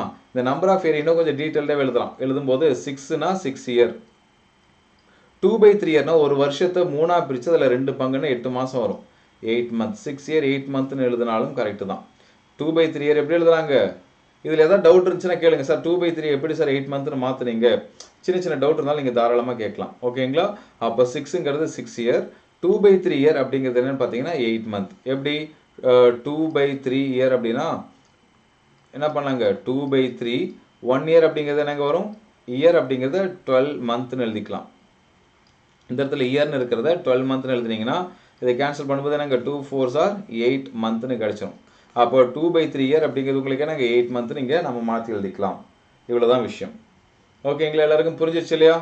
என்ன பண்ணுன்னு சொல்லிட்டு? ரைட் அவ்வளோதாங்க ஸோ இவ்வளோ தான் விஷயம். ஒன்றும் பிரச்சனை இல்லை. நெக்ஸ்ட் சம் பார்க்கலாமா? சிம்பிள் இன்ட்ரெஸ்ட் உங்களுக்கு ஓகே தானா? சிம்பிள் இன்ட்ரெஸ்ட் ரிலேட்டடாக எந்த சம் வந்தாலும் பிஎன்ஆர் பை ஹண்ட்ரட் என்னென்ன இருக்குன்னு சொல்லி பார்த்து பார்த்து எழுதி அதை அப்ளை பண்ணாலே உங்களுக்கு தாராளம் ஆன்சர் வருங்க. சரிங்களா? ரைட் நம்ம நெக்ஸ்ட் பார்க்கலாம். அடுத்த ஒரு சம் ஸோ ஒவ்வொரு மாடல்ல ஒவ்வொரு சம்மான எடுத்து உங்களுக்கு சால்வ் பண்ணிகிட்ருக்கேன் சரிங்களா? ரைட் சரி அடுத்தது. ஆ இதான். நம்பர் ஆஃப் சுற்றுகளின் எண்ணிக்கை. ஒரு சக்கரம் சுற்றுது பார்த்தீங்களா எத்தனை சுற்றுகள் சுற்ற வேண்டும் அப்படின்னு சொல்லி கேட்பாங்க. ஸோ அப்போ இந்த சம் எப்படி சால்வ் பண்ணலாம்னா பாருங்கள் இது ஒரு விஷயம். அது ஃபார்முலா எழுதிடுறேன் உங்களுக்கு ஃபஸ்ட்டு சுற்றுகளின் எண்ணிக்கைக்கு என்ன ஃபார்முலா தெரியுமா உங்களுக்கு?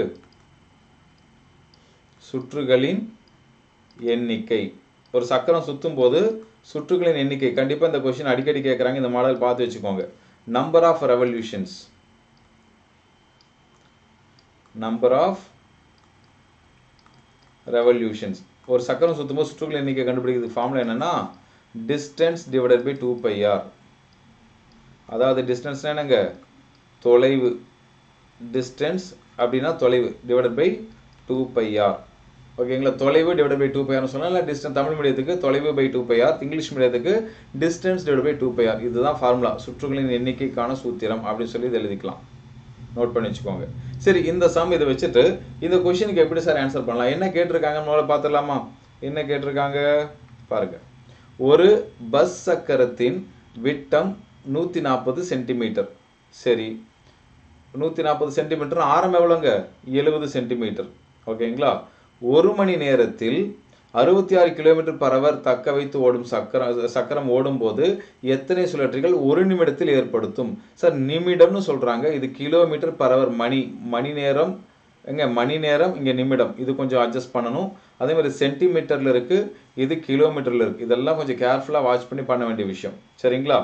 இப்போ இந்த சம் எப்படி சார் சால்வ் பண்ணலாம் அப்படின்னா ஸோ நான் வந்து இந்த ஸ்டெப் பை ஸ்டெப்பாக எழுதுறா இருந்தது நீங்கள் பார்த்துக்கோங்க. என்ன அப்ரோச் என்ன ஐடியாங்கிறத மட்டும் நான் உங்களுக்கு கொடுத்துறேன் ஓகேங்களா ஸ்டெப் பை ஸ்டெப்பாக இதுக்கப்புறம் அந்த லைன் பை லைனாக எழுதுறது இந்த இடையில ஹிண்ட் கொடுக்கறதெல்லாம் நீங்கள் பார்த்துக்கோங்க ரைட் ஸோ அதெல்லாம் எழுதிட்டு இருந்தாலும் டைம் ஆகிடும் ஸோ உங்களுக்கு என்ன அப்படிங்கிறத மட்டும் தெளிவாக சொல்கிறேன் என்ன சார் பண்ணணும் அப்படின்னா ஃபஸ்ட்டு டயமீட்டர் எவ்வளோ சொல்லியிருக்காங்க? நூற்றி நாற்பது சென்டிமீட்டர் சொல்லியிருக்காங்களா? இதுலேருந்து நம்ம என்ன எழுதிக்கலாங்க இதுலேருந்து? ரேடியஸ் ஈக்குவல் டு எழுபது சென்டிமீட்டர் முக்கியமான விஷயம் சென்டிமீட்டரில் இருக்குது தெளிவாக பார்த்துக்கோங்க. வேறு என்ன சொல்லியிருக்காங்க? ஸ்பீடு ஸ்பீடு என்ன கொடுத்துருக்காங்க? அறுபத்தி ஆறு கிலோமீட்டர் பரவன்னு சொல்லிட்டு எத்தனை சுற்றுகள் சுற்ற வேண்டும்? இப்போ எனக்கு இதில் என்ன? இந்த ஃபார்முலா நான் பார்க்கும்போது டூ அப்படிங்கிறது கான்ஸ்டன்ட்டு பையங்கிறது டுவெண்ட்டி டூ பை செவன் இருங்க நான் அது மா பாயிண்டர் மாற்றிக்கிறேன் இதில் இந்த ஃபார்முலா நமக்கு என்னென்னலாம் இருந்து இந்த சம்மை சால்வ் பண்ண முடியும்னு கொஞ்சம் யோசிச்சு பாருங்களேன். சுற்றுகளின் எண்ணிக்கை தான் கண்டுபிடிக்கணும். சரி. இந்த டூங்கிறது கான்ஸ்டன்ட் தான் பிரச்சனை இல்லை. பையங்கிறது டுவெண்ட்டி டூ பை செவன் சரி. ரேடியஸ் கொடுத்துருக்காங்களா அப்படின்னா சார் டயமீட்டர் கொடுத்துருக்காங்க. இதுலேருந்து தாராளமாக ரேடியஸ் கண்டுபிடிச்சிக்கலாம். இதுவும் பிரச்சனை இல்லை. எழுபது தெரியும். டிஸ்டன்ஸ் அந்த சக்கரம் கடந்த தொலைவு அதை கண்டுபிடிக்கணுமா? அப்போ டிஸ்டன்ஸ் கண்டுபிடிச்சாதான் இந்த சம்ம சால்வ் பண்ண முடியும். அப்போ நம்ம ஃபோக்கஸில் என்ன பண்ணும்? டிஸ்டன்ஸ் கண்டுபிடிக்கிறதுலாம் நம்மளுடைய ஃபோக்கஸ் இருக்கணும். அந்த சக்கரம் எவ்வளோ தூரம் போச்சு? சக்கரை எவ்வளோ தூரம் போச்சுன்னு கண்டுபிடிக்கிறதுக்கு அதோட ஸ்பீடு வேணும். இதை வச்சு நம்ம டிஸ்டன்ஸ் கண்டுபிடிக்கணும். சரி சக்கரத்தோட ஸ்பீடு என்ன சொல்லுங்கள் பார்க்கலாம். Sixty six kilometre per hour இதோட மீனிங் என்னது? ஒன் ஹவரில் எவ்வளோ தூரம் போகுங்க? அறுபத்தி ஆறு கிலோமீட்டர் போகும். ஒரு மணி நேரத்தில் சக்கரம் கடக்கும் தொலைவு அறுபத்தி ஆறு கிலோமீட்டர் ஓகேங்களா இது எல்லாருக்கும் ஓகேவா சரி.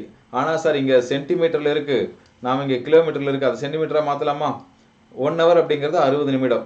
சிக்ஸ்டி மினிட் ஏன் சார் மினிட்டாக மாற்றினீங்க கொஷினில் வந்து பர் மினிட்டு தான் கேட்டிருக்காங்க. அதனால் ஒரு மணி நேரத்துக்கு அறுபத்தி ஆறு கிலோமீட்டர் அப்படின்னா ஒரு மணி நேரம் அப்படிங்கிறது அறுபது நிமிடங்கள் அப்படின்னு எழுதிக்கலாம். சிக்ஸ்டி மினிட்ஸில் சிக்ஸ்டி சிக்ஸ் கிலோமீட்டர் போகும். சிக்ஸ்டி சிக்ஸ் கிலோமீட்டர் அப்படிங்கிறது எப்படி எழுதலாங்க? சிக்ஸ்டி சிக்ஸ் தௌசண்ட் மீட்டர் ஏன்? ஆயிரம் மீட்டர் அப்படிங்கிறது ஒரு கிலோமீட்டர் அப்போ அறுபத்தி ஆறாயிரம் மீட்டர் அப்படிங்கிறது அறுபத்தி ஆறு கிலோமீட்டர் வரும். ஆனால் இது மீட்டரில் இருக்குது நம்மக்கிட்ட இங்கே சென்டிமீட்டர் தான் இருக்கு இல்லைங்களா? அதை இதுவும் இன்னும் மாற்றணும் அறுபத்தி ஆறாயிரம் சென்டிமீ மீட்டர் அப்படிங்கிறது எப்படி சென்டிமீட்டராக மாற்றுவீங்க ஒரு மீட்டர் ஈக்குவல் டு நூறு சென்டிமீட்டர் இல்லையா? அப்போ அறுபத்தி ஆறாயிரம் மீட்டர் அப்படிங்கிறது அறுபத்தி ஆறாயிரம் இன்னும் ரெண்டு ஜீரோ போட்டுட்டு சென்டிமீட்டர்னு எழுதிக்கலாம். அப்போ என்ன வருது? அறுபத்தி ஆறு லட்சம் சென்டிமீட்டர் அப்போது ஒரு சக்கரம் வந்து ஒரு மணி நேரத்துக்கு அறுபத்தி ஆறு கிலோமீட்டர் போகும். ஒரு மணி நேரம் என்பது அறுபது நிமிடங்கள். அறுபத்தி ஆறு கிலோமீட்டர் என்பது அறுபத்தி ஆறு லட்சம் சென்டிமீட்டர்னு அர்த்தம். ஓகேங்களா? இது எல்லாருக்கும் புரிஞ்சிச்சு இல்லையா? அந்த சக்கரம் ஒன் ஹவர் ஏன்னா ஸ்பீடு வந்து sixty six kilometre per hour அப்படிங்கிறதுனால அப்போ ஒரு மணி நேரத்துக்கு சிக்ஸ்டி சிக்ஸ் கிலோமீட்டர் போகும். இங்கே வந்து சென்டிமீட்டர்லேயும் மினிட்லேயும் இருக்கிறதுனால என்னங்க? சென்டிமீட்டர்லேயும் மினிட்லேயும் இருக்கிறதுனால இது அப்படியே நான் சென்டிமீட்டர் மினிட் கன்வெர்ட் பண்ணுறேன் ஒன் ஹவர் அப்படிங்கிறது சிக்ஸ்டி மினிட் மினிட் கன்வெர்ட் பண்ணிட்டோமா? கிலோமீட்டரை சென்டிமீட்டராக மாற்றணும் இங்கே ட்ரை பண்ணி கிலோமீட்டர் சென்டிமீட்டராக மாற்றிட்டோமா அறுபத்தி ஆறு லட்சம் சென்டிமீட்டர் அப்போது அறுபது நிமிஷத்துக்கு அறுபத்தாறு லட்சம் சென்டிமீட்டர் போகும்னா ஒரு நிமிஷத்துக்கு எவ்வளோ தூரம் போகுங்க? ஒரு நிமிஷத்திற்கு எவ்வளோ தூரம் போகும்? அறுபத்தி ஆறு லட்சம் டிவைடட் பை அறுபது சென்டிமீட்டர் இந்த சிக்ஸ்டி ஈக்குவலுக்கு இந்த பக்கம் போது டினாமீட்டராக மாறிடும். இதை கேன்சல் பண்ணிங்கன்னா ஜீரோ ஜீரோ கட் பண்ணிடலாம். அப்போ நாலு ஜீரோ மட்டும்தான் இருக்கும். ஆறையும் அறுபத்தாறு கேன்சல் பண்ணால் பதினொன்று போட்டு ஒரு நாலு ஜீரோ ஓகேங்களா ரைட் அப்போது பதினொன்று போட்டு ஒரு நா ஒரு லட்சத்தி பத்தாயிரம்னு சொல்லலாம். சென்டிமீட்டர். ஓகேங்களா? ஒரு நிமி ஒரு நிமிடத்தில் கடக்கும் தொலைவனங்க ப ஒரு லட்சத்தி பத்தாயிரம் சென்டிமீட்டர். ஏன் சார் ஒரு நிமிடத்துக்கு கண்டுபிடிச்சிங்கன்னா கொஷினில் கிளியராக கேட்டிருக்காங்க. ஒரு நிமிடத்தில் எத்தனை சுழற்சிகள் ஏற்படுத்தும் தான் கேட்டிருக்காங்க. அப்போ ஒரு நிமிஷத்துக்கான தொலைவு தான் நம்ம எழுதணும். அப்போ இந்த ஃபார்முலா அடுத்து அப்ளை பண்ணலாமா? இது என்ன formula number of revolutions number of revolution சுற்றுகளின் எண்ணிக்கை அப்படின்னு பார்க்கும்போது மேலே என்னங்க டிஸ்டன்ஸ் எழுதணுமா? டிஸ்டன்ஸ் நம்ம கண்டுபிடிச்சி வச்சுருக்கோமா? ஓகேங்களா? சக்கரம் கடக்க வேண்டிய தொலைவு ஒரு லட்சத்தி பத்தாயிரம் சென்டிமீட்டர் அதை வேணால் எழுதிக்கலாம். சக்கரம் கடக்க வேண்டிய தொலைவு. ஓகேங்களா? The distance to be travelled by the wheel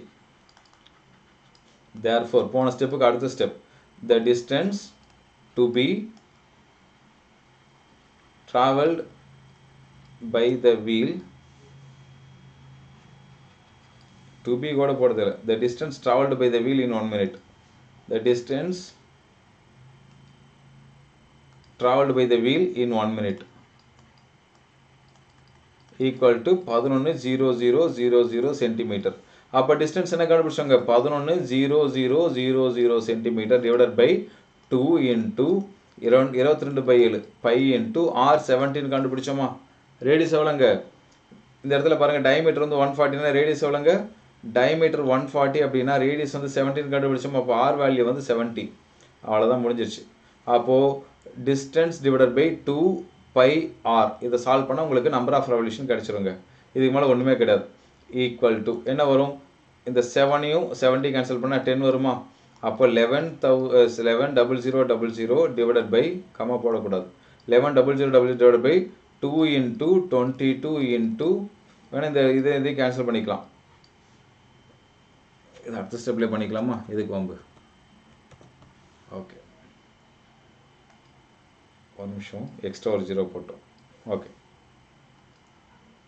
ஓகேங்களா இது இந்த ஒரு ஜீரோ ஜீரோ கேன்சல் ஆச்சுன்னா eleven thousand divided by two into twenty two இது மட்டும் தான் வரும்.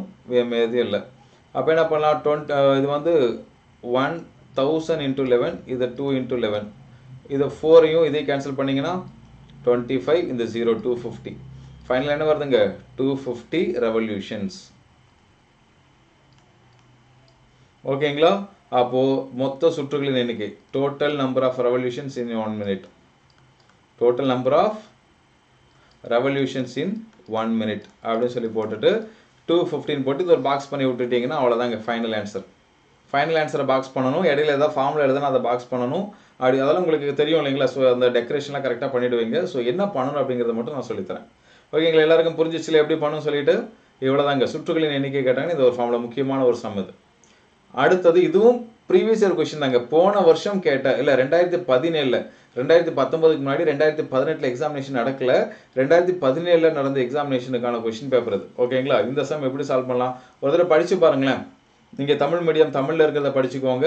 இங்கிலீஷ் மீடியம் இங்கிலீஷில் இருக்கிறத படிச்சுக்கோங்க. இந்த சம் எப்படி அப்ரோச் பண்ணணும்? இருக்கிறத அப்படியே எழுதுங்க தானே ஆன்சர் வருங்க. ரொம்பலாம் சிரமப்படவே தேவையில்லை.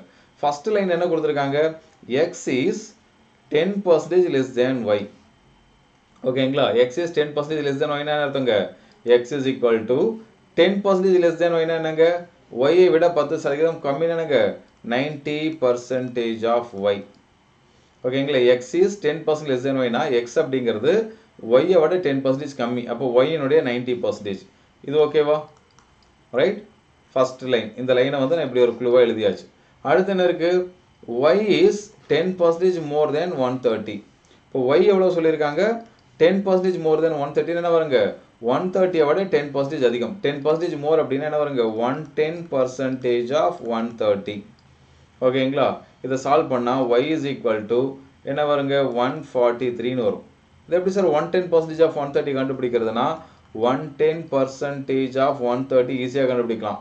ஏன்னா இப்படி பர்சன்டேஜ் கண்டுபிடிக்கும் போது இதில் நிறைய ஜீரோஸ் எல்லாம் வந்துச்சுன்னு வச்சுக்கோங்களேன். கரெக்டாக ரெண்டே ரெண்டு ஜீரோவை கட் பண்ணிவிட்டு அப்படியே பெருக்குனாலே உங்களுக்கு பர்சன்டேஜ் கிடச்சிடும் ஓகேங்களா one ten percentage of one thirty என்ன வருங்க? ஒன் ஃபார்ட்டி த்ரீ ரெண்டே ரெண்டு ஜீரோ மட்டும் கட் பண்ணிட்டு அப்படியே பெருக்க வேண்டியதான் ரைட் அப்போது இது வந்து ஈக்குவேஷன் டூ அப்போ என்ன பண்ணலாம்? சப்ஸ்டிடியூட் டூ இன் ஒன் இந்த ரெண்டை வந்து ஒன்றில் சப்ஸ்டியூட் பண்ணிங்கன்னா அப்போ ஒன் என்ன வரும் x equal to ninety percentage of five ninety percentage of ஒய்யோட வேல்யூ எனக்கு ஒன் ஃபார்ட்டி த்ரீயா ஒய்யோட வேல்யூ ஒன் ஃபார்ட்டி த்ரீ என்ன பண்ணியிருக்கேன்னு புரியுது இல்லைங்களா இந்த இடத்துல? நல்லா கவனிங்க. இந்த இந்த y equal to one forty த்ரீங்கிறது இங்கே சப்ஸ்டியூட் பண்ணணும் அவ்வளோதான் அப்போ எக்ஸ் எழுதியாச்சு ஈக்குவல் எழுதியாச்சு நைன்ட்டி எழுதியாச்சு பர்சன்டேஜ் ஆஃப் எழுதியாச்சு. ஒய்க்கு பதிலாக மட்டும் நான் என்ன பண்ணிட்டேன்? Y equal to one forty த்ரீங்கிறதுனால ஒய்க்கு பதிலாக ஒன் ஃபார்ட்டி த்ரீ போட்டுட்டோம். இதை சால்வ் பண்ணாலும் ஆன்சர் கிடச்சிடும். அப்போ என்ன வரும்? Ninety percentage of one forty three என்ன வருங்க? Ninety percentage of one forty த்ரீன்னு சால்வ் பண்ணும்போது ஜீரோ ஜீரோ கட் பண்ணிடலாம். Nine threes are twenty seven nine fours are thirty six thirty eight one two eight seven by டென்னு வரும். ஃபைனலாக one twenty eight point seven இதுதான். எக்ஸோட value என்ன வருதுங்க? One twenty eight point seven இவ்வளோதாங்க இதுதான் எக்ஸினுடைய மதிப்பு. எல்லாருக்கும் ஓகேங்களா எப்படி பண்ணணும்னு சொல்லிட்டு? அப்போது இந்த விஷயத்தை இந்த குழுவை கரெக்டாக எழுதணும். X is ten percentage less than y அப்படிங்கிறது இந்த equation y is ten percentage more than அப்படிங்கிறது இது. ஓகேங்களா இது ரெண்டையும் எழுதி சிம்பிளாக ஒரு சப்ஸ்டியூஷன் உங்களுக்கு ஆன்சர் கிடச்சிரும். தாராளமாக இது பத்து மார்க் கேள்வியில் கேட்டு வச்சுருந்தாங்க. சிம்பிள் இவ்வளோ தான் இந்த லைன் கரெக்டாக எழுதிட்டிங்கன்னா போதும். உங்களுக்கு மார்க் குறைக்கிறதுக்கு அவங்க தேடினாலும் பண்ண முடியாது. எல்லா குழு ஸ்டெப்பும் இங்கே இருக்குது ஓகேங்களா ரைட் அந்த மேலே எழுதுறது வந்துட்டு x is ten percentage less than y therefore அப்படின்னு போட்டு இது எழுதணும். ஓகேங்களா? Y is ten percentage more than one thirty therefore அப்படின்னு போட்டு எழுதணும். அந்த இதெல்லாம் நீங்கள் பார்த்துக்கோங்க. ஸோ ஸ்டெப் இவ்வளோ தான் ஓகேங்களா? எக்ஸ்ட்ரா அந்த லைன் எழுதுறதெல்லாம் நீங்கள் பார்த்துக்கோங்க. ஓகேங்களா? ஸோ நம்ம வந்து அன் அகாடமியில் வந்து வெற்றி அப்படின்னு சொல்லிட்டு ஒரு பேட்ச் கோர்ஸ் ஸ்டார்ட் பண்ணுறாங்க டிஎன்பிஎஸ்சி குரூப் ஒன் மெயின்ஸுக்காகவே இது வந்து ஜனவரி இருபத்தி அஞ்சாம் தேதி ஆரம்பிக்குது.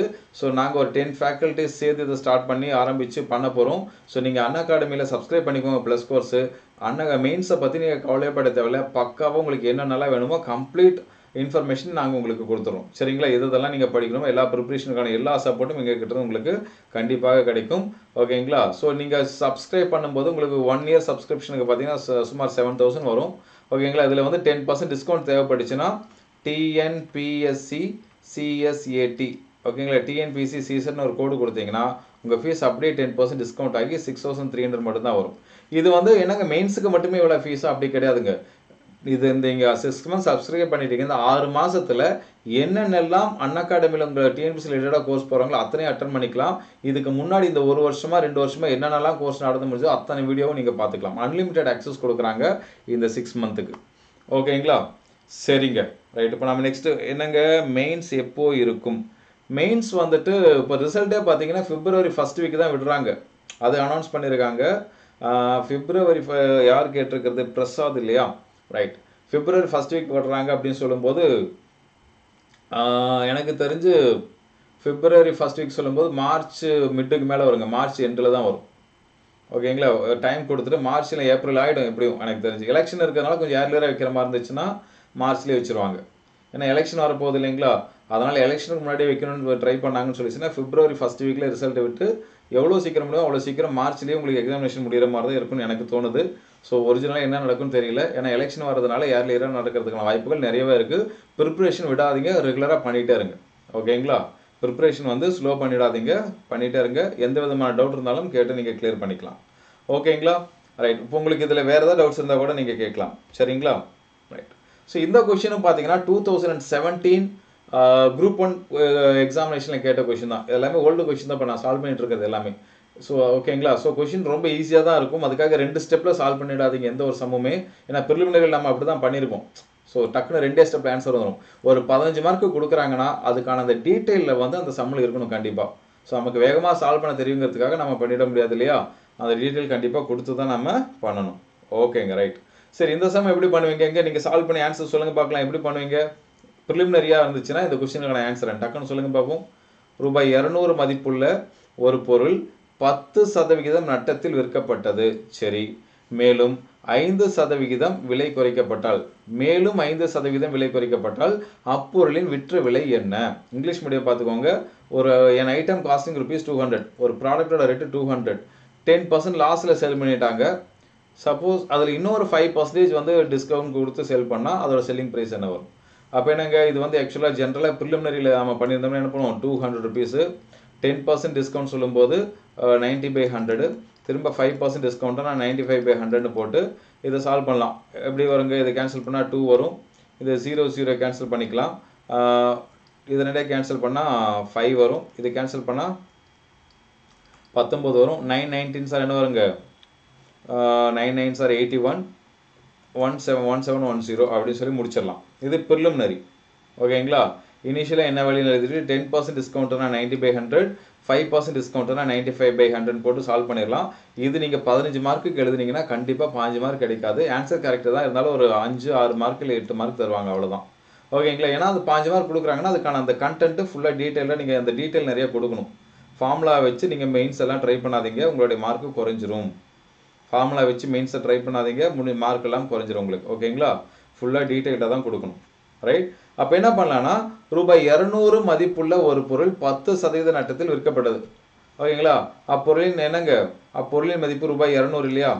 பத்து சதவிகித நட்டத்தில் விற்கப்பட்டது அப்படின்னு சொல்லி எழுதிட்டு the product sold at ten percentage loss therefore நட்டத்தில் விற்கப்பட்டது. அப்படின்னு வேகமாக எழுதிட்டு the product sold at ten percentage loss therefore ஓகேங்களா இட்ஸ் செல்லிங் ப்ரைஸிஸ் ஓகேங்களா? இட்ஸ் இல்லை its price become its price become என்ன வருங்க? டென் பர்சன்டேஜ் லாஸ் அப்படின்னா two two hundred minus ten percentage of two hundred ஓகேங்களா? அதோட ரேட் இதுதான். Ten percentage லாஸுங்கும் போது டென் பர்சன்டேஜ் ஆஃப் டூ ஹண்ட்ரட்னு சொல்லி போட்டுட்டு two hundred minus two hundred ten percentage என்ன வருங்க? டுவெண்ட்டி அப்போ என்ன வருதுங்க? ஒன் எயிட்டின்னு வந்துடும் ஓகேங்களா? ரைட் அடுத்து எனக்கு மேலும் ஐந்து சதவீதம் விலை குறைக்கப்பட்டது the price further reduced by five percentage the price further reduced by five percentage therefore its final price final selling ப்ரைஸ்னு கூட சொல்லலாம். ஃபைனல் செல்லிங் ப்ரைஸ் என்ன எழுதலாம்?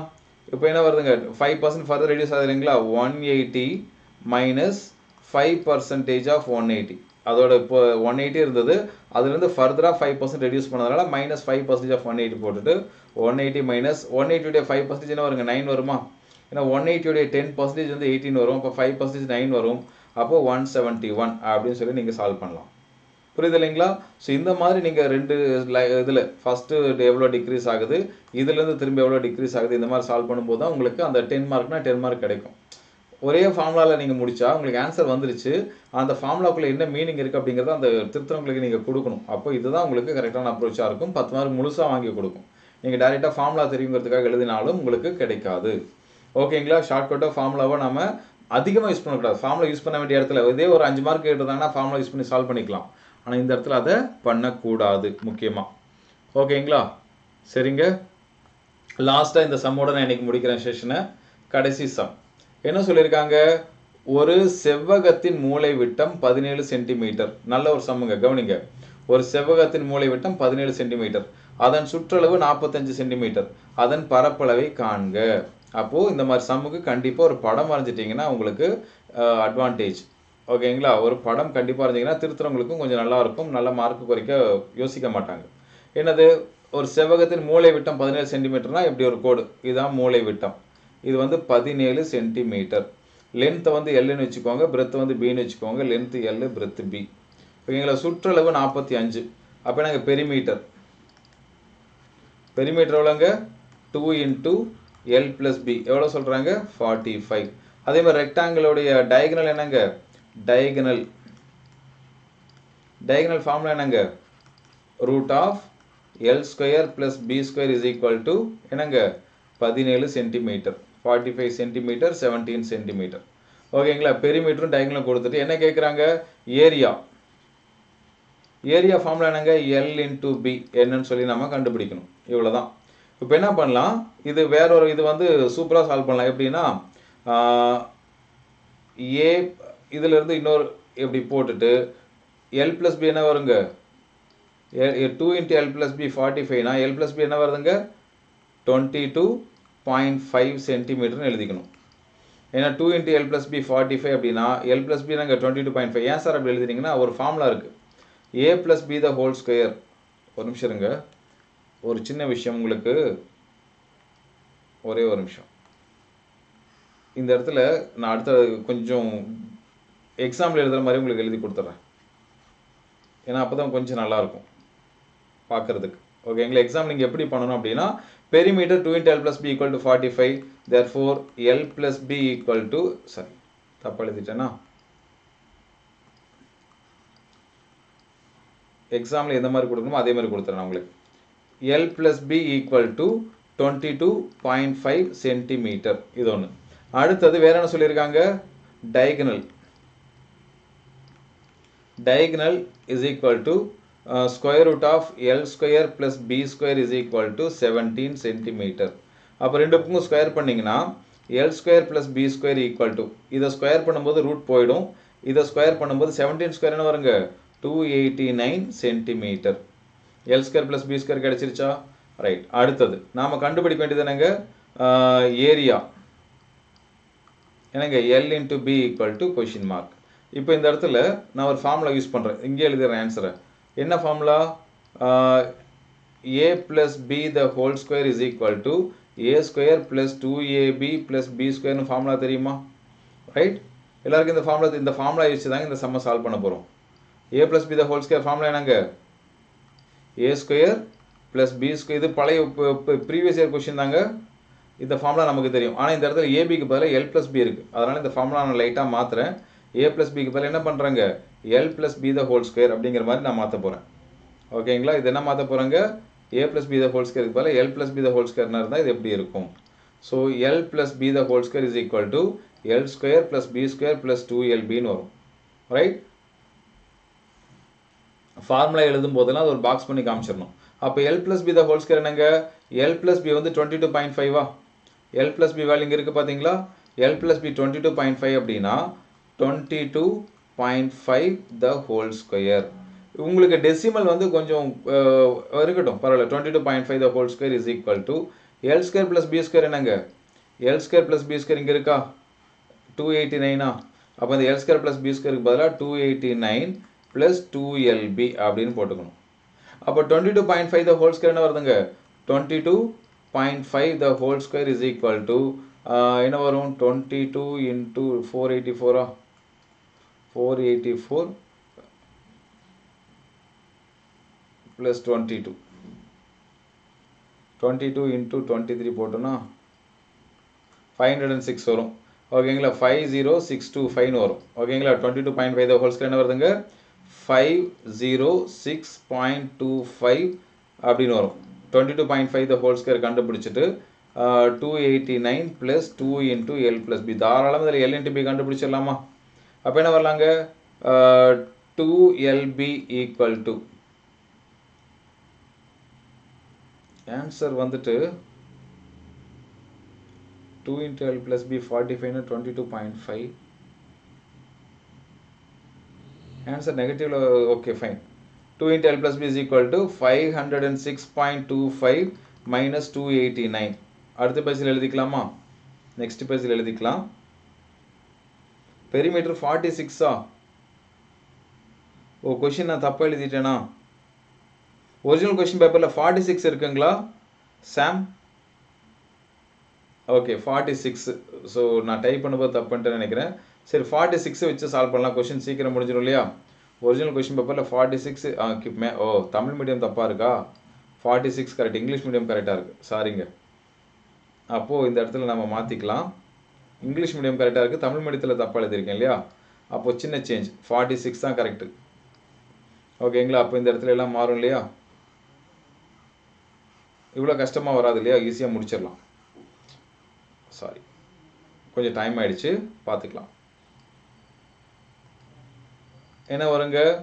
அப்போ இது வந்து என்ன வருங்க? எல்லி இது வந்து ஃபார்ட்டி சிக்ஸ் அப்படின்னு சொல்லும்போது கலர் மாற்றிக்கிறேன் ஃபார்ட்டி சிக்ஸ் அப்படின்னா இங்கே என்ன வருங்க? டுவெண்ட்டி த்ரீ வரும்.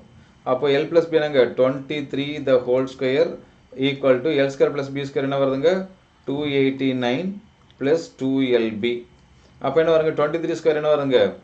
Five twenty nine equal to two eighty nine plus two LB வரும்.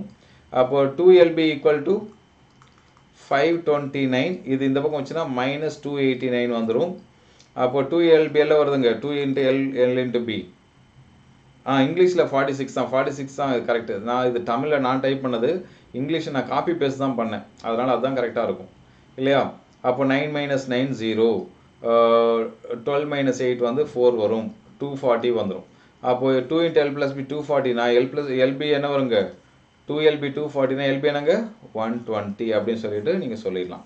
இதுதான் ஸ்டெப் இதில் A plus B the whole square ஃபார்ம்லாம் நம்ம யோசிச்சே கூட பார்த்துருக்க மாட்டோம். ஆனால் இந்த மாடல் திரும்பவும் கேட்கறதுக்கான வாய்ப்புகள் இருக்குது நல்லா பார்த்துக்கோங்க. ஓகேங்களா?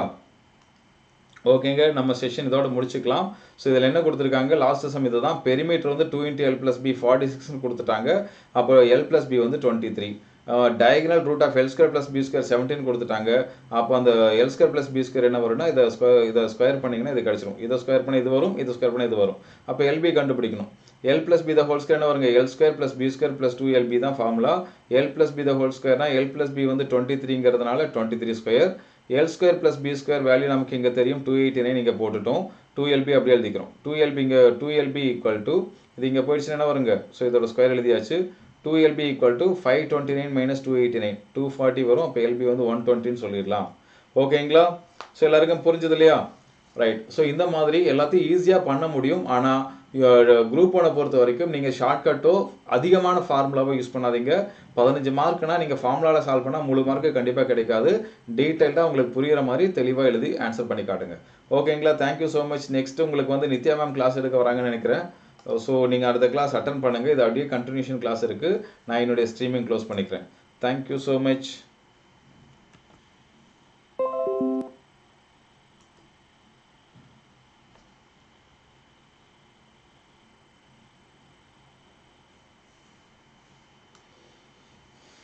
positive முடியும் அப்படின்ற தன்னம்பிக்கையுடன் இருங்க so think positively network well exercise daily eat healthy work hard stay strong build faith ஒரிலஸ் read more be happy volunteer freely relax off and love always live forever so என்னோட ஷெட்யூல் பொறுத்த அளவுக்கு பார்த்தீங்க அப்படின்னா வந்து ஸோ காலையில் daily நான் nine தேர்ட்டிக்கு வந்து ஜாகிரஃபி ப்ளஸில் வந்து ஜாகிரஃபி ப்ளஸ் கிளாஸ் ஹேண்டில் பண்ணிகிட்ருக்கேன் அதே மாதிரி டூ தேர்ட்டிக்கு வந்து பாலிட்டி ப்ளஸ் கிளாஸ் ஹேண்டில் பண்ணிகிட்ருக்கேன் தினந்தோறும் இரவு எட்டு மணிக்கு வந்து நியூஸ் பேப்பர் அனாலிசிஸ் கிளாஸ்ன்னு சொல்லி டெய்லி வரக்கூடிய ஹிந்து நியூஸ் பேப்பர்ஸை வந்து நம்ம வந்து பார்த்துக்கிட்டு இருக்கோம் ஓகே ஸோ அன்அகாடமி டிஎன்பிஎஸ்சி ப்ளஸில் முடிந்த அளவுக்கு எல்லாருமே ஜாயின் பண்ண ட்ரை பண்ணுங்கள் ஸோ அன்அகாடமி டிஎன்பிஎஸ்சி ப்ளஸை பொறுத்த அளவுக்கு வந்து இந்தியாவுடைய தலைச்சிறந்த எஜுகேட்டர்ஸ் நிறைய பேர் வந்து இதில் வந்து இருக்காங்க.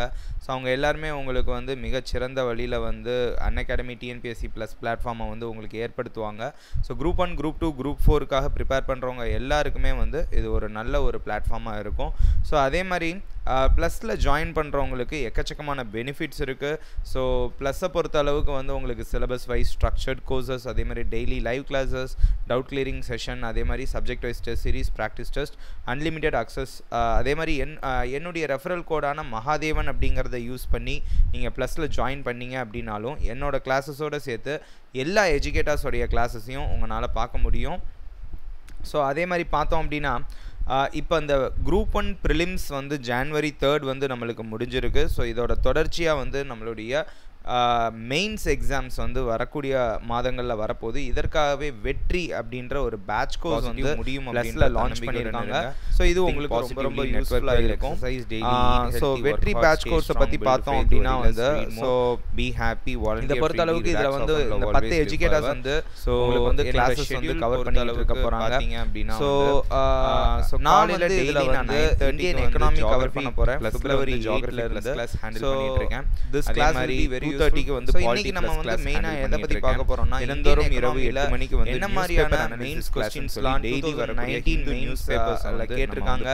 அதே மாதிரி வந்து so will also be discussing Unacademy TNPSC மட்டும் முடிந்த அளவுக்கு அதை எப்படி அப்ரோச் பண்ணலாம் அப்படின்ற மாதிரியும் நம்ம அன்அகாடமி டிஎன்பிஎஸ்சி அதே மாதிரி வந்து daily night eight o'clock வந்து டி நிறைய பேர் வந்து சொல்லிட்டு வேற வந்து அவங்க எல்லாருமே வந்து மிகச்சிறந்த வழியில வந்து இதுல டாப் த்ரீ ரேங்கர்ஸ்க்கு வந்து ஃபர்ஸ்ட் ரேங்க் எடுக்கிறவங்களுக்கு வந்து ஒன் மந்த் அன்அகாடமி நம்மளுடைய குரூப் 4 காக ப்ரிப்பேர் பண்றவங்க எல்லாருக்குமே அதே மாதிரி வந்து செகண்ட் பிரைஸ் அண்ட் தேர்ட் பிரைஸ்க்கு வந்து அதே மாதிரி கிஃப்ட் கார்டு பிளஸ்ல ஜாயின் பண்றது எல்லாமே உங்களுக்கு ரொம்ப ரொம்ப யூஸ்ஃபுல்லா இருக்கும் ஸோ ட்ரை டு என்ரோல் வந்து சிலபஸ் வைஸ் ஸ்ட்ரக்சர்ட் கோர்சஸ் அதே மாதிரி டெய்லி லைவ் அதே மாதிரி வெற்றி அப்படின்ற அந்த பேட்ச் கோர்ஸ்க்காக வந்து இன்னைக்கு வந்து குரூப் அண்ட் மேரத்தான் நடந்துச்சு. யூடியூப்ல மொத்தம் வந்து ஒன்பது கோடம் ஸோ அதோட கடைசி பகுதியில தான் பண்ணி நீங்க பிளஸ்ல காலையில இருந்தே வந்து நிறைய எஜுகேட்டர்ஸ் வந்து மாறி மாறி வந்து எல்லா எஜுகேட்டர்ஸோட கிளாஸ் லைவா ஸ்ட்ரீம் பண்ணி பார்க்க முடியும். ஸோ இதுல பாத்தீங்க அப்படின்னா மாதிரி ஆறு மணில இருந்து ஏழு மணி வரைக்கும் சௌந்தரராஜன் சார் கிளாஸ் பிரிலிம்ஸ் வந்து ஜனவரி தேர்ட் வந்து நம்மளுக்கு முடிஞ்சிருக்கு. ஸோ இதோட தொடர்ச்சியா வந்து நம்மளுடைய வந்து நான் மெயின்ஸ் எக்ஸாம் இதுல நம்ம எக்கனாமி பத்தி பார்க்க போறோம். எகைன் இந்த கிளாஸ் வந்து வெற்றி நம்ம கொண்டு வரதுக்கான முக்கியமான காரணம் நாளைக்கு வந்து வெற்றி இது உங்கள ஒரு பிளஸ் பேட்ச் கோர்ஸ் வந்து ஆரம்பிச்சு ஸோ வெற்றி பேட்ச் கோர்ஸ் பத்தி பார்த்தோம் அப்படின்னா வந்து ஸோ அதே மாதிரி குரூப் ஒன் இந்த பொறுத்த அளவு பேட்ச் கோர்ஸ் வந்து வந்து உங்களுக்கு நடக்க கிளாஸ் அதாவது என்னன்னா வெற்றி பேட்ச் கோர்ஸ் வந்து உங்களுக்கு வந்து தொடர்ச்சியா நடந்து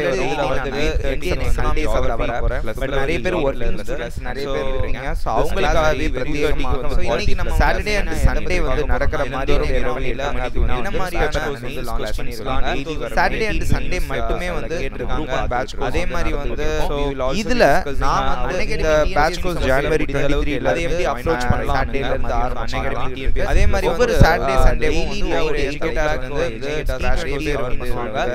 இதுல நான் வந்து சோஷியல் இஷ்யூஸ் ஹேண்டில் பண்ண போறேன். சோ இதுல டாப் 3 ரேங்க் பேப்பர் 1 ல ஃபர்ஸ்ட் ரேங்க் எடுக்கிறது வந்து ஒன் மந்த் அகாடமி சோஷியல் இஷ்யூஸ்ங்கற டாபிக் சோஷியல் அதே மாதிரி வந்து second prize and third prize வந்து சோ இதுல வந்து நான் பிளஸ்ல ஜாயின் பண்ணது எல்லாமே உங்களுக்கு ரொம்ப ரொம்ப யூஸ்ஃபுல்லா இருக்கும் ரொம்ப யூஸ்ஃபுல்லா இருக்கும். சோ ட்ரை டு எட் வீக்கெண்ட் பேட்ச் கோர்சஸ் மறக்காம அட்டென்ட் கோர்சஸ் இதுக்கு அடுத்து பார்த்தோம் அப்படினா அதே மாதிரி விலட்ரி அப்படிங்கற பேட்ச் கோர்ஸ்க்காக வந்து 2 பிரிலிம்ஸ் குரூப் நடந்து மேரத்தான் நடந்துச்சு யூடியூப்ல மொத்தம் மே 2020 சோ அதோட கடைசி பகுதியில தான் இதற்காகவே பிரத்யேகம் காலையில இருந்தே வந்து நிறைய எஜுகேட்டர்ஸ் மாறி மாறி வந்து எல்லா எஜுகேட்டர்ஸோட கிளாஸ் இந்த இலக்கு பேட்ச் இதுல பாத்தீங்க அப்படினா அதே மாதிரி ஜனவரி 7 வரைக்கும் சாந்தராஜா 29 வரை பிரிலிம்ஸ் பேட்ச் ஜனவரி 3 வந்து நம்மளுக்கு இதோட கண்டினியூஷனா நான் வந்து பாத்தீங்கன்னா ஏப்ரல் 15 மெயின்ஸ் மே 2020 பத்தி பார்க்க போறோம். எகைன் இந்த கிளாஸ் அதற்கு கொஞ்சம் முன்னாடி வந்து நாளைக்கு வந்து காலையில ஒரு பிளஸ் பேட்ச் கோர்ஸ் வந்து ஆரம்பிச்சு மந்த் வைஸா வந்து நம்ம கரெக்ட் பேட்ச் கோர்ஸ் கவர் பண்ணி பார்த்தோம் அப்படினா வந்து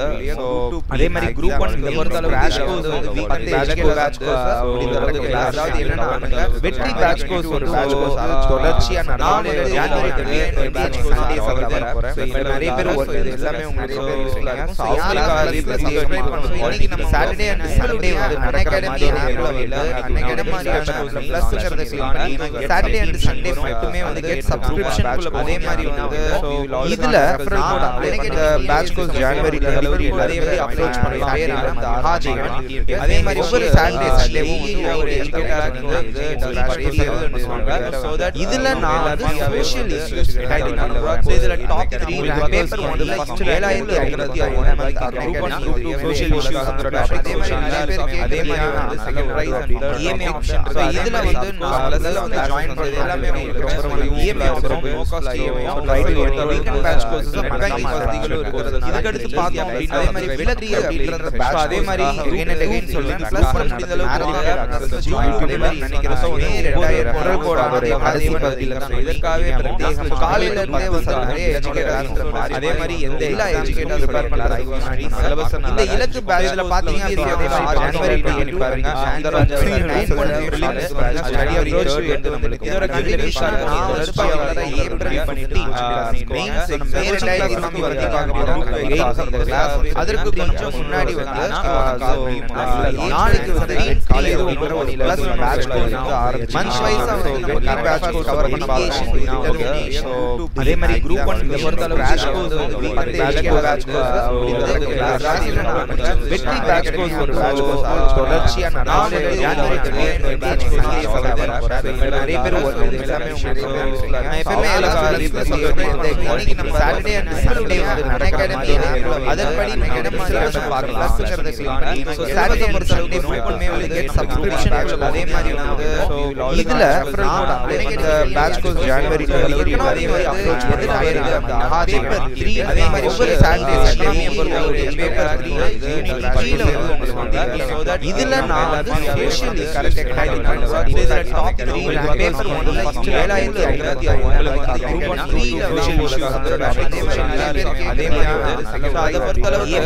ஒரு example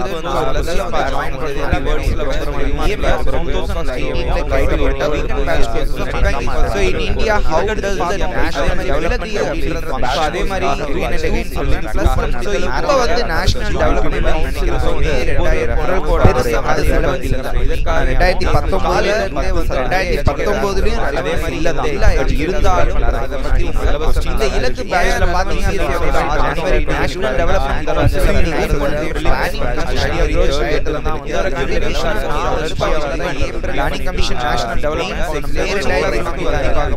அதுக்கப்புறம் அதற்கு என்னோட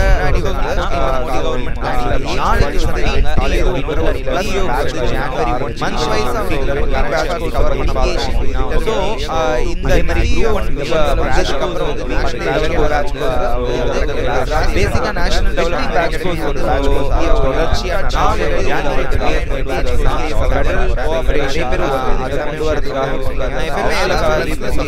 ஆனா இப்ப நம்ம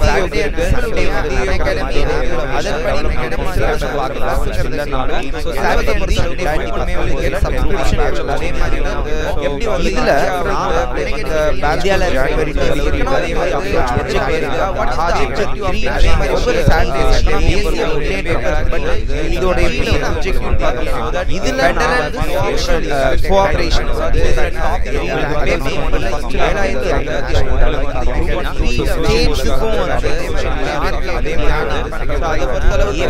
ஒரு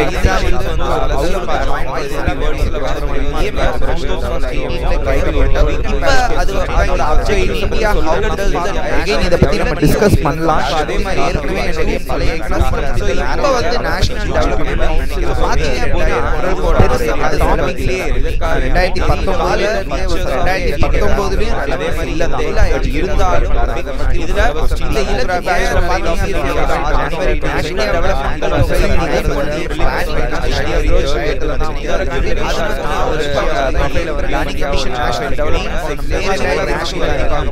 அதுக்கப்புறம் அதற்கு என்னோட மந்த் வைஸ்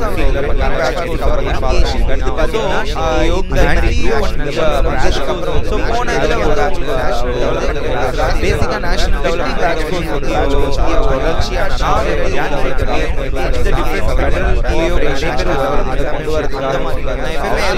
இது எல்லாமே ஆனா இதுல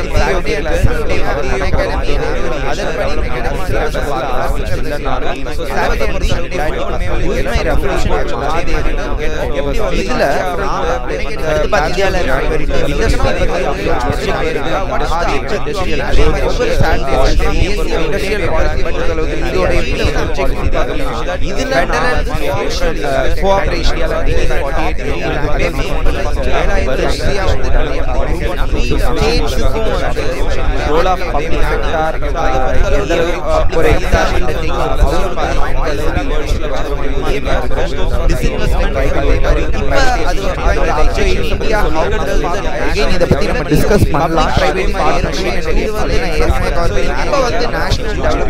பாத்தீங்க அப்படின்னா டாபிக்லயே ரெண்டாயிரத்தி பத்தொன்பதுல ரெண்டாயிரத்தி பத்தொன்பதுலயும் இருந்தாலும் இதுல அதெல்லாம்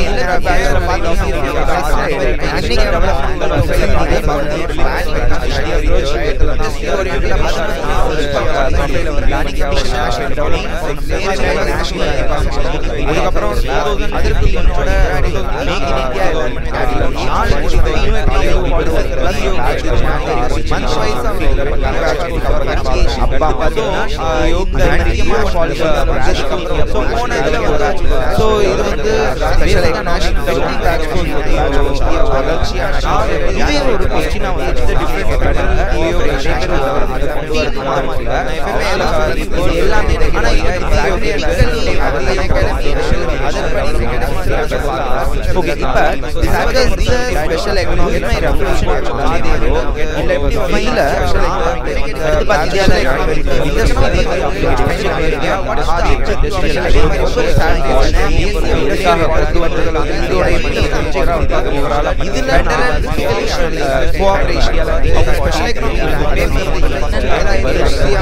special economic role of public for example, the voice not clear. Disinvestment India again இதை பத்தி நம்ம டிஸ்கஸ் பண்ணலாம் பிரைவேட் பார்ட்னர்ஷிப் இது வந்து நான் ஏற்கனவே கவர் பண்ணி இப்போ வந்து நேஷனல் டெவலப்மெண்ட் பாத்தீங்க அப்படின்னா டாபிக்லயே ரெண்டாயிரத்தி பத்தொன்பதுல ரெண்டாயிரத்தி பத்தொன்பதுலயும் இருந்தாலும் இதுல அதெல்லாம் இல்லை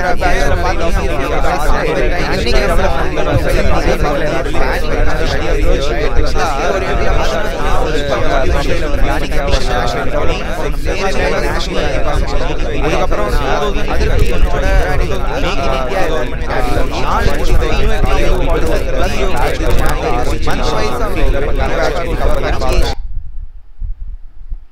இப்போ எப்படி இருக்கு? இப்போ கிளியராக இருக்கா? இப்போ கிளியராக இருக்கா?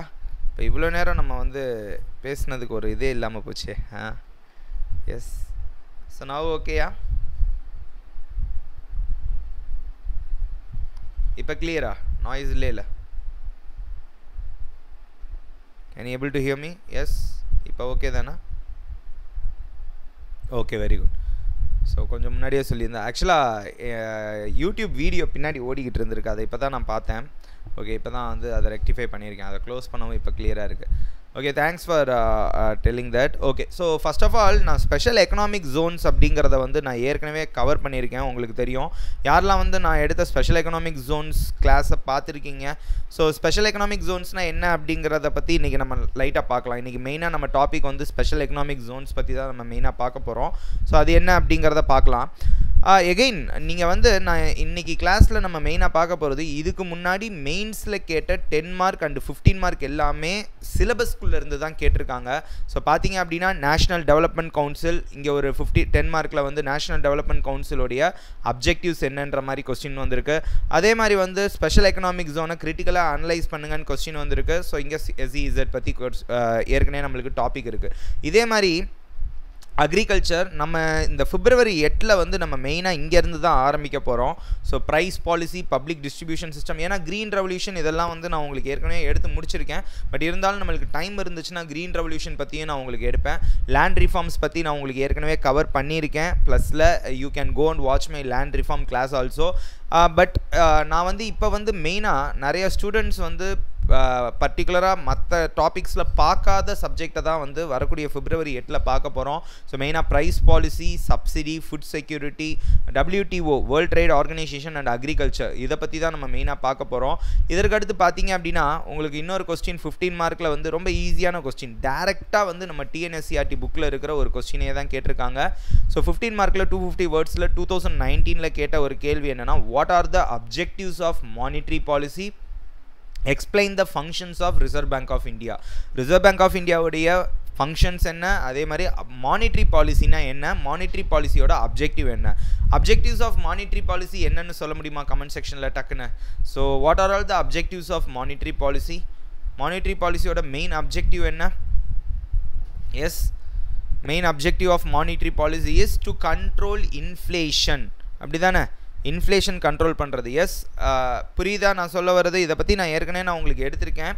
பட் இருந்தாலும் எஸ் இன்ஃப்ளேஷனை வந்து டார்கெட் பண்ணுறது இன்ஃப்ளேஷனை கண்ட்ரோல் பண்ணுறது ஸோ தட் ப்ரைஸ் ரைஸை வந்து கம்மி பண்ணுறதுக்காக கொடுக்குறது தான் இன்ஃப்ளேஷன் அதே மாதிரி இன்ஃப்ளேஷன் மட்டும் கண்ட்ரோல் பண்ணுறது கிடையாது. ஒரு எக்கனாமி ரிசஷனில் இருக்கும்போது ரிசஷன்னா என்ன அர்த்தம்? ஜிடிபி க்ரோத் ரேட் கம்மியாக இருக்கும்போது ரிசஷன் ஆகவோ இல்லை டிப்ரெஷனில் போகுது அதாவது நெகட்டிவ் க்ரோத் ரேட் போகுது அப்படின்றப்ப ஒரு எக்கனாமியை ரிவைவ் பண்ணுறதுக்காக யூஸ் பண்ணுறது தான் மானிட்ரி பாலிசி ஸோ மானிட்ரி பாலிசிக்கு எக்கச்சக்கமான அப்ஜெக்டிவ்ஸ் இருக்குது பட் அதில் மெயினான அப்ஜெக்டிவ்னா ரெண்டே அப்ஜெக்டிவ்ஸ் தான். அந்த அப்ஜெக்டிவ்ஸை எப்படி அச்சீவ் பண்ணுறதுக்காக நிறைய மெத்தட்ஸ் வேறு ஆர்பிஐ வந்து ஃபாலோ பண்ணுவாங்க. அது எல்லாத்தையுமே நான் உங்களுக்கு ஏற்கனவே எடுத்திருக்கேன். எகைன் வரக்கூடிய கிளாஸஸ்லேயும் நம்ம அதை பற்றி தான் பார்க்க போகிறோம் ஸோ இதுவும் நம்மளுக்கு டாப்பிக்கில் இருக்கிறது தான் ஸோ பார்த்தீங்க அப்படின்னா monetary policy RBI and autonomy அப்படிங்கிறது ஒரு main topic banking and ஃபினான்ஸில் infrastructure transport system energy power communication social infrastructure science and technology R and D ஆக்சுவலாக நான் உங்களுக்கு ஒரு கொஸ்டின் கொண்டு வர மறந்துட்டேன். பட் டூ தௌசண்ட் நைன்டீனில் வந்து டென் மார்க்கில் ஒரு கொஸ்டின் கேட்டிருந்தாங்க. என்ன கொஸ்டின் அப்படின்னு பார்த்தோம் அப்படின்னா வந்து analyse the weakness of the science and technology infrastructure in India அப்படின்னு ஒரு கொஸ்டின் வந்திருக்கு. டூ தௌசண்ட் நைன்டீனில் டென்மார்க்கில் சயின்ஸ் அண்ட் டெக்னாலஜி வந்து அதோடைய கட்டுமானம். நம்ம இந்தியாவில் analyse the weakness of the science and technology infrastructure in India அப்படின்னு சொல்லியே ஒரு கொஸ்டின் வந்து கேட்டிருக்காங்க. So science and technology infrastructure ஓரியன்டாகவும் மெயின்ஸில் ஒரு கொஸ்டின் வந்திருக்கு. அது மட்டும் கிடையாது டென்மார்க்கில் இன்னொரு கொஸ்டின் வந்து அக்ரிகல்ச்சர் வச்சு ஒரு கொஸ்டின் எக்ஸ்பிளைன் த ஃபேக்டர்ஸ் நான் அதை கொண்டு வர முடியலை பட் நோட் uh, பண்ணிக்கோங்க. ஸோ அது என்னென்னா explain the factors which influence the agricultural pricing policy in India அதாவது நம்ம நாட்டில் விவசாய பொருட்களுடைய அந்த விலை தீர்மானத்துக்கு எதன் எந்தெந்த காரணிகள்லாம் தீர்மானம் பண்ணுது? விவசாய பொருட்களுடைய விலையை எந்தெந்த காரணிகள்லாம் தீர்மானம் பண்ணுது? அப்படி இந்திய வேளாண்மை விலை கொள்கையை நிர்ணயிக்கும் காரணிகளை பற்றி விளக்குக. Also explain the functioning and implementation of this policy அதே மாதிரி அக்ரிகல்ச்சரல் ப்ரைஸிங் பாலிசியை எப்படி நம்ம கவர்மெண்ட் இம்ப்ளிமெண்ட் பண்ணிக்கிட்டு இருக்காங்க அப்படின்னு ஒரு கொஸ்டின் வந்திருக்கு. ஸோ நான் திரும்பியும் நான் என்ன சொல்ல வரேன் அப்படின்னா வந்து உங்களுக்கு வெளியிலேருந்து கொஸ்டின்ஸ் வரவே வராது. நீங்கள் அப்படியே வெளியிலேருந்து ஒரு கொஸ்டின் வந்தாலும் அதை நீங்கள் சாய்ஸில் விட்டுட்டும் போயிடலாம் ஸோ அதனால் நீங்கள் வந்து சிலபஸை அந்த சிலபஸில் இருக்கிற ஒவ்வொரு டாப்பிக்கையும் நீங்கள் கவர் பண்ணிட்டீங்கன்னா மெயின்ஸில் நீங்கள் சூப்பராக மார்க் எடுக்கலாம். டென் மார்க்காக இருக்கட்டும் ஃபிஃப்டீன் மார்க்காக இருக்கட்டும் சூப்பராக கிளா நீங்கள் என்ன பண்ணலான்னா அங்கே ஆன்சர் ரைட்டிங்கும் உங்களுக்கு ஈஸியாக வரும். அது எப்படிங்கிறத தான் நான் வந்து வரக்கூடிய பிப்ரவரி எட்டாம் தேதி கிளாஸில் நம்ம பார்க்க போகிறோம் இதற்கடுத்து பார்த்தீங்க அப்படின்னா வந்து உங்களுக்கு explain the objective of fiscal policy in reducing the inequality of income in underdeveloped கண்ட்ரீஸ்னு ஒரு question ten mark one fifty வேர்ட்ஸில் two thousand nineteen போன வருஷம் கேட்கப்பட்ட ஒரு கேள்வி. ஸோ இது என்ன ஃபிஸ்கல் பாலிசிக்கும் மானிட்டரி பாலிசிக்கும் என்ன வித்தியாசம்? மானிட்ரி பாலிசி அப்படிங்கிறது வந்து ஆர்பிஐ சென்ட்ரல் பேங்க் வந்து நம்ம நாட்டுடைய இன்ஃப்ளேஷனை வந்து கட்டுப்படுத்துறதுக்காகவோ இல்லை எக்கனாமிக் க்ரோத்தை வந்து கொண்டு வரதுக்காகவோ வந்து நிறைய மெஷர்ஸ் யூஸ் பண்ணுவாங்க.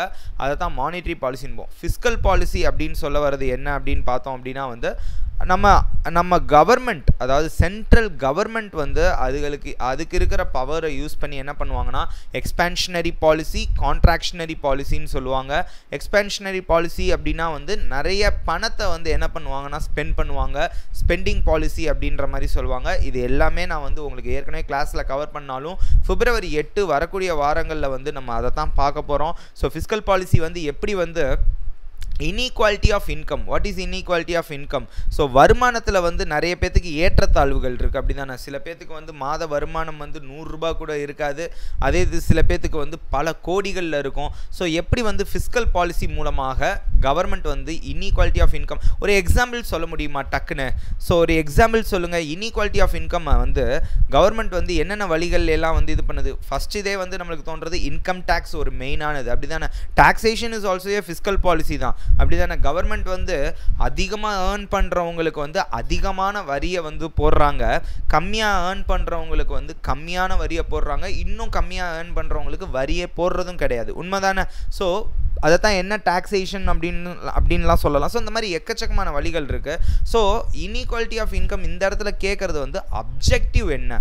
வாட் இஸ் த அப்ஜெக்டிவ் இந்த மாதிரி ஃபிஸ்கல் பாலிசியோட அப்ஜெக்டிவ் என்ன? இன்இக்வாலிட்டி ஆஃப் இன்கம் இது பண்ணுறது ஸோ இதை அண்டர் டெவலப்டு கண்ட்ரீஸில் என்ன மாதிரி வந்து அந்த இதை வந்து அச்சீவ் பண்ணுறாங்க அப்படிங்கிறதையும் நம்ம பார்க்க போகிறோம் இதற்கடுத்து பார்த்தீங்க அப்படின்னா public finance source of revenue tax and non tax revenue GST public expenditure public dept finance commission fiscal policy so உங்களுக்கு வெளியிலேருந்து எங்கே இருந்தும் கொஸ்டின் வரவே வராது. சிலபஸை நீங்கள் ப்ரிப்பேர் பண்ணிட்டீங்க அப்படின்னாலே வந்து சிலபஸில் இருக்கக்கூடிய டாபிக்ஸை பார்த்துட்டிங்கனாலே அந்த டாபிக்ஸ் ஓரியன்டாக வரக்கூடிய கொஸ்டின்ஸையும் நீங்கள் ஈஸியாக வந்து அணுக முடியும்.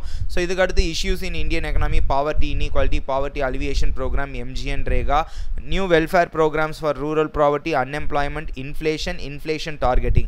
Inflation and inflation targetingங்கிறது நம்ம நம்ம டாப்பிக்லேயே இருக்குது எகைன் நான் இன்ஃப்ளேஷன் பற்றி இன்ஃப்ளேஷன் டார்கெட்டிங்கை பற்றி கொஸ்டின்ஸ் கேட்டிருக்கேன். ஐ மீன் நான் டாபிக் எடுத்திருக்கேன். உங்களுக்கு ப்ளஸில் நான் ஏற்கனவே கவர் பண்ணியிருக்கேன். வரக்கூடிய பிப்ரவரி எட்டுலையும் அதை தான் நம்ம பண்ண போகிறோம் அதோட இன்ஃப்ளேஷனை பற்றி போன வருஷமும் ஒரு கொஸ்டின் வந்திருக்கு. அது என்னங்கிறதையும் பார்க்கலாம். அதே மாதிரி sustained economic growth gender issues இதை வச்சும் வந்து உங்களுக்கு வந்து கொஸ்டின்ஸ் வரும்.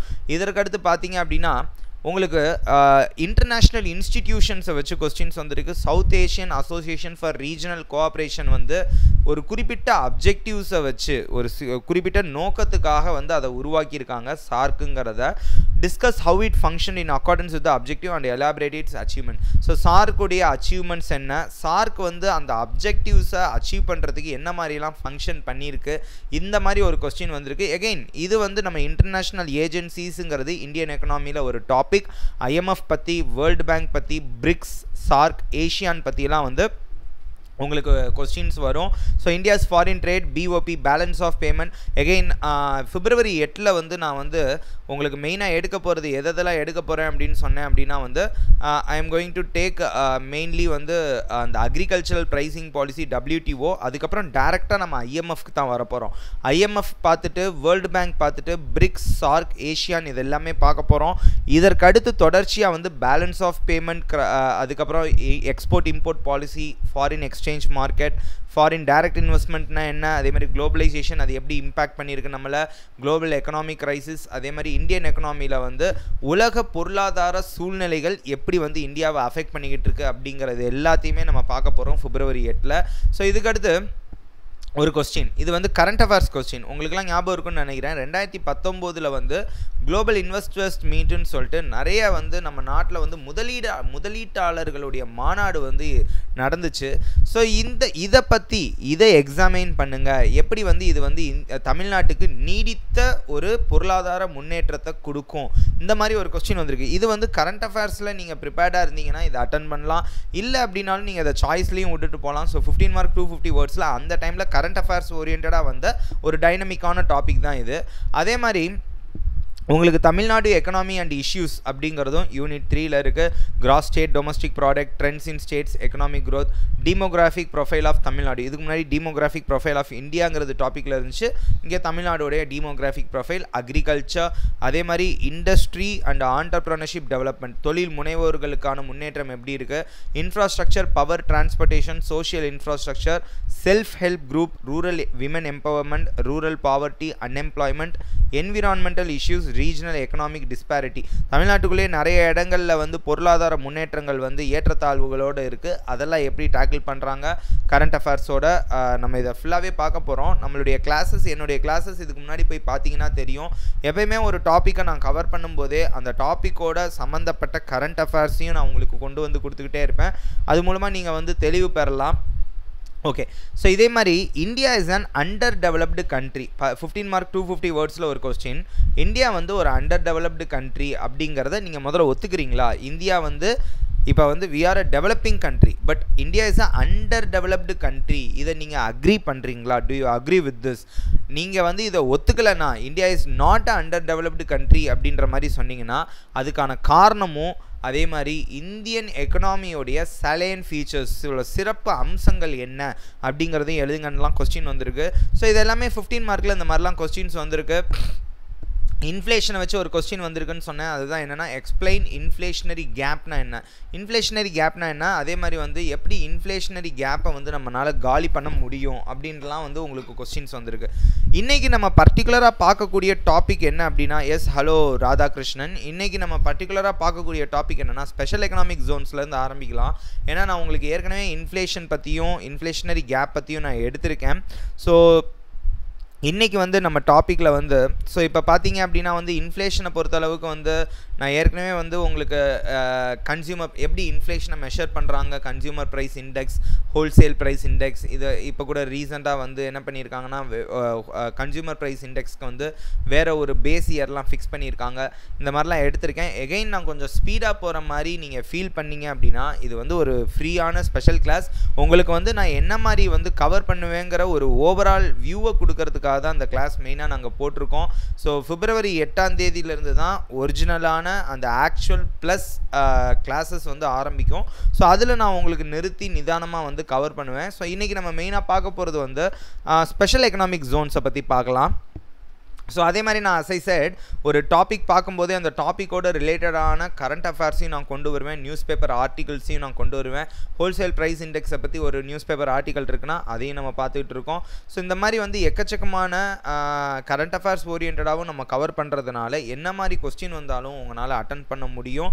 ஓகே அதே மாதிரி இன்ஃப்ளேஷன் மெஷர் பண்ணுறதோட okay coming to special economic zones எதுக்கு இந்த ஸ்பெஷல் எக்கனாமிக் ஜோன்ஸை பற்றி இப்போ பார்க்குறோம் அப்படின்னா டூ ஃபிஃப்டி வேர்ட்ஸ் ஃபிஃப்டீன் மார்க்கில் நம்மளுக்கு குரூப் ஒன் மெயின்ஸில் மெயினாக கேட்ட ஒரு முக்கியமான ஒரு கொஸ்டின் என்ன அப்படின்னா ஸ்பெஷல் எக்கனாமிக் ஜோன்ஸ் ஸோ சொல்ல முடியுமா? முதல்ல வந்து இங்கே இந்த கொஸ்டின் வந்து critically analyse the special economic zone அப்படிங்கிறது தான் கொஸ்டினே ஸோ கிரிட்டிக்கலி அனலைஸுங்கிறப்ப வந்து ஸ்பெஷல் எக்கனாமிக் ஜோனை பற்றி கிரிட்டிக்கலாக அதாவது வந்து நீங்கள் அதை அது நல்லதா இல்லை கெட்டதா அதோட அட்வான்டேஜஸ் டிஸ்அட்வான்டேஜஸ்ன்னு சொல்லி மெரிட்ஸ் அண்ட் டிமெரிட்ஸ் எல்லாத்தையுமே இது பண்ணி கன்க்ளூஷனில் வந்து நீங்கள் வந்து ஏதாவது ஒரு சைடில் ஸ்டாண்ட் எடுக்கணும். இதனால் நல்லது நடக்குது. இதனால் கெட்டது இருக்குது இதனால் நிறைய டிஸ்அட்வான்டேஜ் தான் மோராக இருக்குது இந்த மாதிரி எப்படினாலும் நீங்கள் ஸ்டாண்ட் எடுக்கலாம். பட் அதை வந்து நீங்கள் வந்து வேலிடேட் பண்ணணும் உங்களுடைய வியூவை ஸோ அதை தான் இங்கே கேட்டிருக்காங்க இந்த கொஸ்டினில் critically analyse the special economic ஜோன்னு so உங்களுக்கான கேள்வி what is a special economic zone special economic ஜோன்னா என்ன? அப்படின்னு சொல்ல முடியுமா? What is a special economic zone அதுதான் உங்களுடைய கேள்வி. So try to answer what is a special economic zone excuse me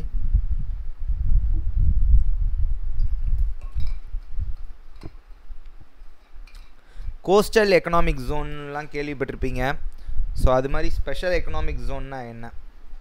Okay so special economic zone அப்படிங்கிறது என்னென்னா இப்போ நம்ம இந்தியா இருக்குது அப்படின்னா வெளிநாட்டிலேருந்து ஒரு பொருள் இந்தியாவுக்குள்ளே வரும்போது அதை வந்து இறக்குமதி பண்ணுறோம் to develop industrial cluster in a particular area okay but அது okay but to develop industrial cluster in a particular area அப்படிங்கிறப்ப இது வந்து இந்த ஸ்பெஷல் எக்கனாமிக் ஜோன்னால் வந்து ஒரு இண்டஸ்ட்ரியல் கிளஸ்டரை டெவலப் பண்ணுறது அப்படிங்கிறது நடக்கும் அது வந்து one of the effect of special economic zone தான். பட் மெயினாக ஸ்பெஷல் எக்கனாமிக் ஜோன் வந்து கொண்டு வரதுக்கு காரணம் என்னென்னா வந்து என்ன சொல்லலாம் அப்படின்னா இப்போ பொதுவாக வந்து ஒரு கம்பெனி ஆரம்பிக்கணும்னு வந்து வெளிநாட்டில் இருக்கிறவங்கெல்லாம் வந்து நிறைய காசு வச்சுருப்பாங்க. அவங்கெல்லாம் நிறைய முதலீடு பண்ணணும்னு நினைப்பாங்க. ஒரு இடத்துல அவங்களுடைய காசை மேலும் மேலும் பெருக்கணும் அப்படின்னு தான் நினைப்பாங்க.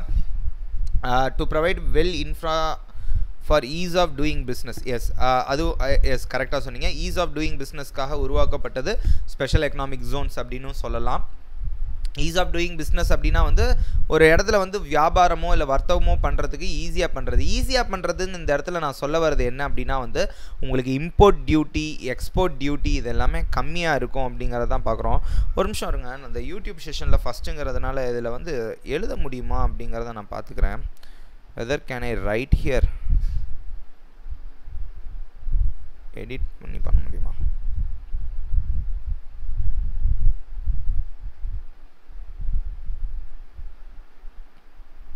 எழுதுறதுக்கு வேறு ஏதாவது யூஸ் பண்ணுமா?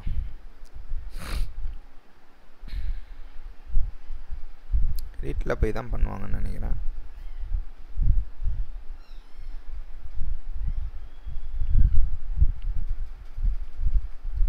இல்லை இல்லை இது எங்கேயோ போகுது. ஓகே ஃபைன் இப்போதைக்கு நம்ம ஃபுல்லாக அந்த கிளாஸில் வந்து ஸ்லைட்ஸை மட்டுமே வச்சு யூஸ் பண்ணலாம். அடுத்து நான் வந்து பார்த்துட்டு வரேன். வேறு அடுத்த யூடியூப் செஷனில் வந்து.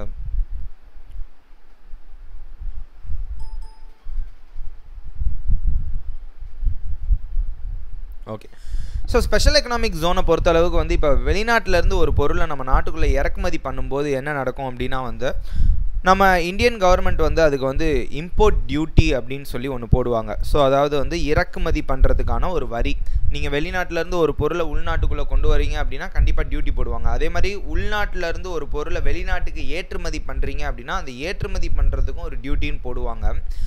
ஆனால் இப்போ அது வந்து அந்த ஒரு ஏரியாவையே நம்ம இப்போ என்ன பண்ணுறோம் அப்படின்னா இப்போ ஃபார் எக்ஸாம்பிள் சென்னைக்கு சென்னையில் வந்து ஒரு குறிப்பிட்ட ஏரியாவை ஸ்பெஷல் எக்கனாமிக் ஜோன் அப்படின்னு அறிவிச்சிட்டோம்னா அந்த ஸ்பெஷல் எக்கனாமிக் ஜோனுக்குள்ளே வெளிநாட்டிலேருந்து ஒரு பொருள் உள்ளே வரும்போது அது இறக்குமதியாக கணக்கிடப்படாது. ஆக்சுவலாக அதை நம்ம ஒரு ஃபாரின் லேண்ட் மாதிரி தான் பார்ப்போம். அதை ஒரு ஃபாரின் ஸ்பேஸ் மாதிரி தான் பார்ப்போம். ஸோ அப்போ வெளிநாட்டிலேருந்து ஒரு பொருள் வந்து ஸ்பெஷல் எக்கனாமிக் ஜோனுக்கு வரும்போது அங்கே இம்போர்ட் டியூட்டி அப்ளை ஆகாது. ஸ்பெஷல் எக்கனாமிக் ஜோன்லேருந்து ஒரு பொருள் வெளிநாட்டுக்கு போகும்போது அது எக்ஸ்போர்ட் அப்படின்ற அந்த கணக்கில் வராது.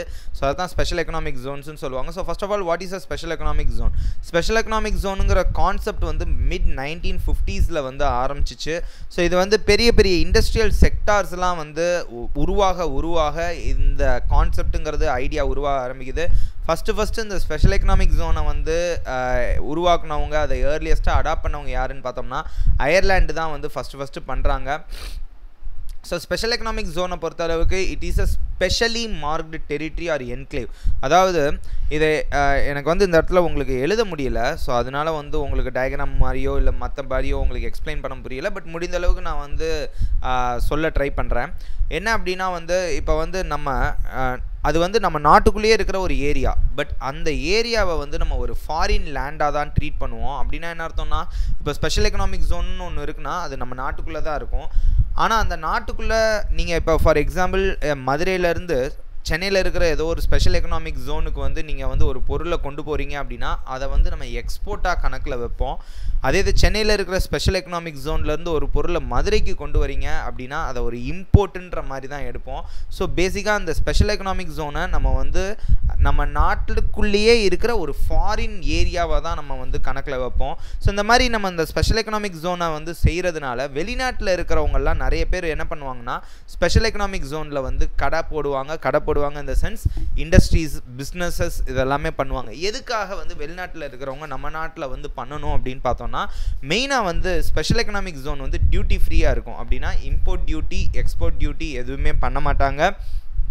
எதுவுமே போட மாட்டாங்க. ஸோ அப்போ அது மூலமாக வந்து நிறைய வந்து நன்மைகள் தான் ஏற்படும் அப்படிங்கிறதுனால வந்து என்ன பண்ணுவாங்கன்னா ஸ்பெஷல் எக்கனாமிக் ஜோன்ஸில் வந்து நிறைய பேர் வந்து பிஸ்னஸ் ஆரம்பிப்பாங்க. அதே மாதிரி பொதுவாக இந்தியா மாதிரியான நாட்டில் தான் நிறைய ஸ்பெஷல் எக்கனாமிக் ஜோன்ஸ் வந்து ஆரம்பிப்பாங்க. அதே மாதிரி அதில் இண்டஸ்ட்ரீஸ்லாம் வரது காரணம்னா இந்தியாவில் வந்து லேபர் ஃபோர்ஸ் அதிகமாக இருக்காங்க. So what is a special economic zone special economic zone is a specially marked territory or enclave within the national border நம்ம நாட்டுக்குள்ளேயே இருக்கக்கூடிய ஒரு மார்க்டு டெரிட்டரி நம்ம கவர்மெண்ட் வந்து அதை சொல்லுவாங்க இதெல்லாம் ஸ்பெஷல் எக்கனாமிக் ஜோன் இவ்வளோ ஏக்கருக்கு அப்படின்ற மாதிரி சொல்லுவாங்க. ஸோ அது வந்து நம்ம நாட்டுக்குள்ளேயே இருக்கும். That has more liberal economic laws so நம்ம நாட்டுடைய பொருளாதார சட்டங்கள் எல்லாமே நம்ம மற்ற ஓவரால் ரெஸ்ட் ஆஃப் த கண்ட்ரிக்கு எப்படி அப்ளை ஆகுமோ அதே மாதிரி ஸ்பெஷல் எக்கனாமிக் ஜோனில் அப்ளை ஆகாது. ஸோ அங்கே டாக்ஸேஷன் கம்மியாக இருக்கும். அதே மாதிரி வந்து டியூட்டிஸ் கம்மியாக இருக்கும். ஸோ அதனால வந்து பிஸ்னஸஸ்லாம் வந்து ரொம்ப ஃப்ரீயாக வந்து என்ன பண்ணுவாங்க அப்படின்னா வந்து ஆப்ரேட் பண்ணலாம். So they are geographically delineated enclaves within a country நம்ம நாட்டுக்குள்ளேயே இருக்கக்கூடிய ஒரு ஃபாரின் லேண்ட் அப்படின்னு நம்ம சொல்லலாம். ஸோ டிபிக்கலி டியூட்டி ஃப்ரீயாக இருக்கும் has different business and commercial laws அதே மாதிரி அந்த ஸ்பெஷல் எக்கனாமிக் ஜோன்ஸுக்குன்னு தனித்தனியான சில வியாபார சட்டங்கள் மற்றும் வர்த்தக சட்டங்கள் எல்லாமே வந்து இதாக இருக்கும்.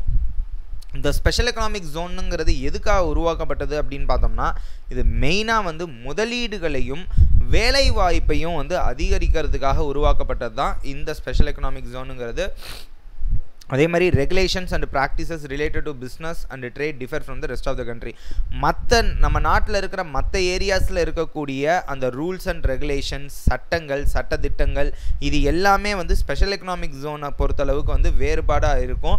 ஸோ மற்ற இடங்களில் அதிகமான டியூட்டி போடுறாங்க அப்படின்னா ஸ்பெஷல் எக்கனாமிக் ஜோன்ஸில் பொதுவாக அந்தளவுக்கு டியூட்டி வராது so therefore all the units therein enjoy special privileges சிறப்பான சலுகைகளை வந்து ஸ்பெஷல் எக்கனாமிக் ஜோன்ஸில் இருக்கிறவங்க வந்து என்ன பண்ணுவாங்க அப்படின்னா என்ஜாய் பண்ணுவாங்க. ஸோ இதெல்லாம் டேக்ஸ் ஹேவன்ஸ் அப்படின்னு சொல்லலாம்.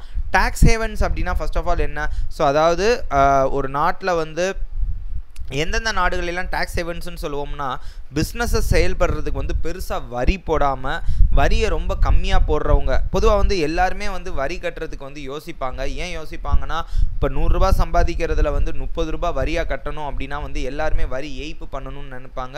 இல்லாட்டினா வந்து சம்பாதிக்க இவ்வளோ சம்பாதிக்கிச்சு இவ்வளோ கொடுக்குறோமேங்கிறதுக்காக இன்னும் அதிகமாக சம்பாதிக்கணுங்கிற எண்ணம் இல்லாமல் தான் இருப்பாங்க. பட் இந்த மாதிரி டேக்ஸ் சேவன்ஸ்லாம் வந்து ரொம்ப வரி போடாமல் ஒரு டென் பர்சன்டேஜ் இல்லை ஃபைவ் பர்சன்டேஜ் சில கண்ட்ரீஸ்லாம் ஜீரோ பர்சன்டேஜ் வந்து என்ன பண்ணுவாங்க அப்படின்னா வந்து வரி போடுவாங்க. ஸோ இதை தான் டேக்ஸ் ஹேவன்ஸ்னு சொல்லுவோம். ஸோ ஸ்பெஷல் எக்கனாமிக் ஜோன்ஸை வந்து நம்ம டேக்ஸ் ஹேவன்ஸாக கன்சிடர் பண்ணலாம். நம்ம நாட்டுக்குள்ளேயே நம்ம நாட்டோட டெரிட்டோரியல் பார்டர்ஸ்குள்ளேயே இருக்கக்கூடிய ஒரு டேக்ஸ் ஹேவன் தான் அந்த ஸ்பெஷல் எக்கனாமிக் ஜோன் அப்படின்னு சொல்லலாம். ஸோ அதே மாதிரி இந்த மாதிரி ஸ்பெஷல் எக்கனாமிக் ஜோன்ஸ் ஆரம்பிக்கிறதுனால நான் பேலன்ஸ் ஆஃப் ட்ரேட் வந்து பயங்கரமாக அதிகரிக்கும். அதே மாதிரி attract newer inward investment in the country வெளிநாட்டில் இருந்து நிறைய முதலீடுகள் நம்ம நாட்டுக்குள்ளே நுழையும் ஃபாரின் டைரக்ட் இன்வெஸ்ட்மெண்ட்ஸ்னு சொல்லிட்டு அதே மாதிரி நிறைய க்ரியேஷன் ஆஃப் நியூ ஜாப்ஸ்லாம் வேறு புதுசாக க்ரியேட் ஆகும். Financial incentives are granted to those setting up the SEZ அதே மாதிரி நம்ம நாட்டில் வந்து நிறைய வந்து ஸ்பெஷல் எக்கனாமிக் ஜோன்ஸில் வந்து நீங்கள் வந்து க இண்டஸ்ட்ரியில் பிஸ்னஸ் ஆரம்பிக்கிறீங்க அப்படின்னா நிறைய சிறப்பு மானியங்கள் மாதிரியோ இல்லை வந்து ஊக்கத்தொகை மாதிரியோலாம் கொடுப்பாங்க. ஃபினான்ஷியல் இன்சென்டிவ்ஸும் கிடைக்கும். அதே மாதிரி வந்து உங்களுக்கு டாக்ஸேஷன் கஸ்டம்ஸ் லேபர் ரெகுலேஷன்ஸ்லாம் நிறைய பெனிஃபிட்ஸ் கொடுப்பாங்க அப்படிங்கிறதையும் நம்ம பார்க்குறோம். ஓகே ஸோ அதே மாதிரி basic idea of behind the SEZ special economic ஜோனுடைய main idea என்ன அப்படின்னா வந்து ஸ்பெஷல் எக்கனாமிக் ஜோன்ஸை வந்து ரொம்ப ஷார்ட் டைமில் நம்ம வந்து டக்குன்னு அனு சொல்லிட்டோம் அப்படின்னா வந்து நிறைய பேர் வந்து என்ன பண்ணுவாங்க அப்படின்னா வந்து இந்த இடத்துல இண்டஸ்ட்ரீஸ் கட்டுவாங்க. ஸ்பெஷல் எக்கனாமிக் ஜோன்ஸ்னால எம்ப்ளாய்மெண்ட் ஆப்பர்ச்சுனிட்டிஸ் அதிகமாகும் இன்வெஸ்ட்மெண்ட்ஸ் கூடும். Special economic zones are created also to better administer these areas அதே மாதிரி வந்து ஸ்பெஷல் எக்கனாமிக் ஜோன்ஸ் மூலமாக இன்னும் வந்து அந்த இண்டஸ்ட்ரியல் கிளஸ்டர்ஸை வந்து நம்மளால் ஈஸியாக அட்மினிஸ்டர் பண்ண முடியும். அதே மாதிரி ஈஸ் ஆஃப் டூயிங் பிஸ்னஸ் நம்ம அதாவது ஒரு வியாபாரம் வந்து எந்த அளவுக்கு சுமூகமாக பண்ண முடியும் அப்படிங்கிறதையும் நம்மளால் இன்க்ரீஸ் பண்ண முடியும் அப்படிங்கிறதையும் பார்க்குறோம். ஓகே லேபர் ஆர்பிட்ராஜ் அப்படின்னா என்ன? First of all special economic ஜோன்ஸுடைய இன்னொரு முக்கியமான விஷயம் என்ன அப்படின்னா வந்து லேபர் ஆர்பிட்ராஜ் மூலமாக நம்ம வந்து என்ன பண்ணலாம் அப்படின்னா வந்து நம்ம நாட்டில் வந்து லேபர் ஆர்பிட்ராஜ் பண்ணலாம் அப்படின்றாங்க. What is labour arbitrage labour ஆர்பிட்ராஜ்னால் என்னென்னா ஒரு கம்பெனி ஆரம்பிக்கணும் அப்படின்னா வந்து நீங்கள் ஒரு பிஸ்னஸ் ஆரம்பிக்கிறீங்கன்னா முடிந்த அளவுக்கு நீங்கள் ப்ராஃபிட் சம்பாதிக்கணும்னு தான் நினைப்பீங்க. ப்ராஃபிட் எப்படி சம்பாதிப்பீங்க அப்படின்னு பார்த்தோம் அப்படின்னா இப்போ ஒரு கம்பெனி ஆரம்பிக்கிறதுக்கு நூறு தொழிலாளர்கள் தேவைப்படுறாங்க. நூறு தொழிலாளர்களுக்கும் நீங்கள் சம்பளம் வந்து கொடுக்கணும். இப்போ நூறு தொழிலாளர்களுக்கு ஆயரரூபா சம்பளம் அப்படின்னா வந்து அப்போ கிட்டத்தட்ட உங்களுக்கு மாதத்துக்கு ஒரு லட்ச ரூபாய் வந்து சம்பளத்துக்கே வந்து போதும்.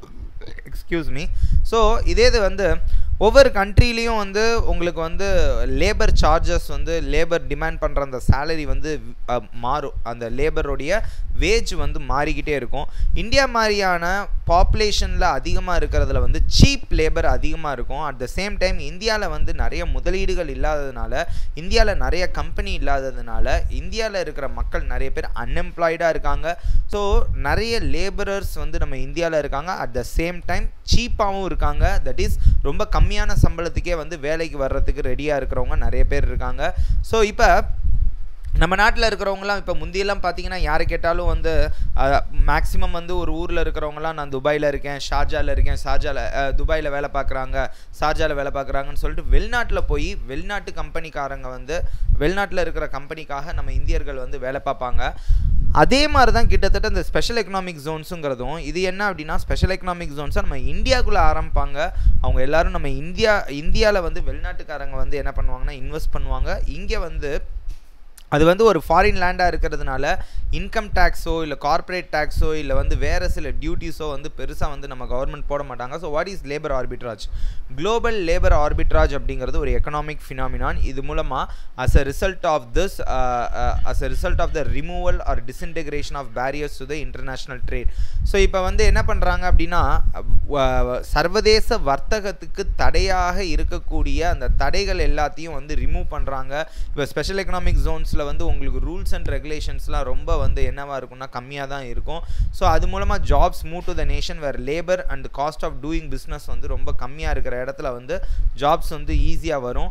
ஸோ அதனால தான் வந்து என்ன இருக்குது அப்படின்னு பார்த்தோம் அப்படின்னா வந்து லேபர் ஆர்பிட்ராஜுங்கிறது வந்து ஸ்பெஷல் எக்கனாமிக் ஜோன்ஸில் ஈஸியாக வரும் அப்படிங்கிறத சொல்கிறாங்க ஸோ அதே மாதிரி இந்த கான்செப்ட் ஆஃப் லேபர் ஆர்பிட்ராஜ் அப்படிங்கிறது இதை பற்றிலாம் நான் உங்களுக்கு வந்து கிளாஸஸில் எடுக்கிறேன். ஏன்னா நான் வந்து இந்த லேபர் ஆர்பிட்ராஜை பற்றி இன்னும் சொல்லணும்னா I have to write here but அதை பற்றி நம்ம லேட்டராக பார்க்கலாம். ஸோ அதே மாதிரி பேக்ரவுண்ட் ஆஃப் ஸ்பெஷல் எக்கனாமிக் ஜோன்ஸில் சைனா வந்து முத முதன்னு வந்து ஸ்பெஷல் எக்கனாமிக் ஜோனை ஷென்ஜன் அப்படின்ற ஏரியாவில் ஆயிரத்தி தொள்ளாயிரத்தி எழுபத்தி ஒம்போதில் ஓப்பன் பண்ணாங்க. அதுக்கப்புறம் வந்து சைனாவில் நிறைய ஸ்பெஷல் எக்கனாமிக் ஜோன்ஸ் ஓப்பன் பண்ணியிருக்காங்க. சைனா வந்து ஒரு பெரிய மேனுஃபேக்சரிங் ஹப்பாக இருக்கிறதுக்கு வந்து அவங்க ஓப்பன் பண்ண ஸ்பெஷல் எக்கனாமிக் ஜோன்ஸும் ஒரு காரணம்.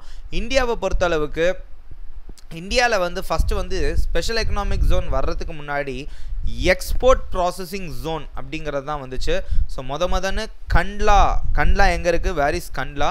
So do you know where is Kandla Kandla அப்படிங்கிறது எந்த இடத்துல இருக்குது எந்த மாநிலத்தில் இருக்குது கண்ட்லா அப்படிங்கிறது? So first export processing zone came up in Kandla yes Kandla அப்படிங்கிறத தான் கேட்குறேன் பட் அதையே கண்ட்லா அப்படின்னு மட்டும் சொல்லியிருக்கீங்களே. குஜராத். கன்லா போர்ட் அப்படின்னு கேள்விப்பட்டிருப்பீங்க. ஸோ குஜராத்தில் இருக்குது ஸோ குஜராத்தில் ஆயிரத்தி தொள்ளாயிரத்தி அறுபத்தி அஞ்சில் வந்து ஏற்றுமதியை வந்து ப்ரொமோட் பண்ணுறதுக்காக உருவாக்கப்பட்டது தான் என்ன அப்படின்னா இந்த எக்ஸ்போர்ட் ப்ராசஸிங் ஜோன் இந்த எக்ஸ்போர்ட் ப்ராசஸிங் ஜோனை தான் வந்து நம்ம கவர்மெண்ட் என்ன பண்ணுறாங்கன்னா ஸ்பெஷல் எக்கனாமிக் ஜோன் பாலிசி அப்படின்னு சொல்லி அறிவித்து ரெண்டாயிரத்தில் வந்து ஸ்பெஷல் எக்கனாமிக் ஜோன் அப்படின்ற அந்த ஒரு பெயர் மாற்றம் பண்ணுறாங்க எக்ஸ்போர்ட் ப்ராசஸிங் ஜோனுக்கும் ஸ்பெஷல் ப்ராசஸிங் ஜோனுக்கும் எக்கனாமிக் ஜோன்ஸுக்கும் வந்து வித்தியாசம் என்னென்னா அங்கே மெயினாக வந்து ஏற்றுமதியை வந்து முன்னிறுத்துறதுக்காக கொண்டு வந்தது எக்ஸ்போர்ட் ப்ராசஸிங் ஜோன் அதுக்கடுத்து இங்கே வந்து ஓவராலாக வந்து எஃப்டிஐஸ் எக்ஸ்போர்ட் இம்போர்ட் எல்லாத்தையுமே வந்து இம்ப்ரூவ் பண்ணுறதுக்காக கொண்டு வந்தது வந்து ஸ்பெஷல் எக்கனாமிக் ஜோனுங்கிறது ரெண்டாயிரத்துலேருந்து ரெண்டாயிரத்தி ஆறுக்கு இடையில வந்து ஸ்பெஷல் எக்கனாமிக் ஜோன்ஸ் வந்து இந்தியாவில் ஆப்ரேஷனல் ஆக ஆரம்பிச்சிச்சு. Under the foreign trade policy கீழே வந்து ஆப்ரேட் ஆக ஆரம்பிச்சிச்சு அப்படிங்கிறத பார்க்குறோம் அதே மாதிரி வந்து ரெண்டாயிரத்தி அஞ்சில் வந்து special economic zones act two thousand five அப்படின்னு சொல்லி வந்து நம்ம கவர்மெண்ட் வந்து என்ன பண்ணாங்கன்னா ஒரு ஆக்ட் ஒன்று பாஸ் பண்ணாங்க. எக்கச்சக்கமான கன்சல்டேஷன் டெலிபரேஷன்ஸ்க்கு அப்புறம் வந்து இதை பாஸ் பண்ணாங்க. ஸோ அந்த ஆக்ட் மூலமாக ஸ்பெஷல் எக்கனாமிக் ஜோன் ரூல்ஸ்ன்னு சொல்லி ரெண்டாயிரத்தி ஆறில் வந்து கவர்மெண்ட் வெளியிட்டாங்க. ஸோ இந்த special economic zones act two thousand ஃபைவை வச்சு தான் இப்போ இரு ஏற்கனவே இருந்த எக்ஸ்போர்ட் ப்ராசஸிங் ஜோன்ஸ் எல்லாத்தையுமே ஸ்பெஷல் எக்கனாமிக் ஜோன்ஸாக நம்ம கவர்மெண்ட் வந்து மாற்றினாங்க ஸோ அதுதான் பார்க்குறோம். ஸோ அதே மாதிரி direct and indirect tax exemptions எல்லாம் வந்து கொடுக்குறாங்க. இந்த இடத்துல வந்து ஸ்பெஷல் எக்கனாமிக் ஜோனில் வந்து உங்களுக்கு டேரக்ட் டேக்ஸ் இன்டைரக்ட் டேக்ஸ்லாம் மேக்ஸிமம் லெவி பண்ண மாட்டாங்க அப்படிங்கிறதையும் பார்க்குறோம். ஸோ இந்த ஸ்பெஷல் எக்கனாமிக் ஜோனில் வந்து ஆக்டில் வந்து it is defined as an act to provide for the establishment development and management of the special economic zones இந்த எஸ்இஇசட் ஆக்ட்டுங்கிறது எதுக்காக கொண்டு வந்ததுன்னா இதெல்லாம் ப்ரிலிம்ஸ்லாம் கேட்டிருக்காங்க. எஸ்இஇசட் ஆக்ட் எந்த வருஷம் வந்துச்சு இந்த மாதிரிலாம் வந்து மேட்ச் த ஃபாலோயிங் மாதிரி கூட கேட்டிருக்காங்க. ஸோ இது எல்லாமே உங்களுக்கு ரொம்ப யூஸ்ஃபுல்லாக இருக்கும். ப்ரிலிம்ஸாக இருக்கட்டும் மெயின்ஸாக இருக்கட்டும்.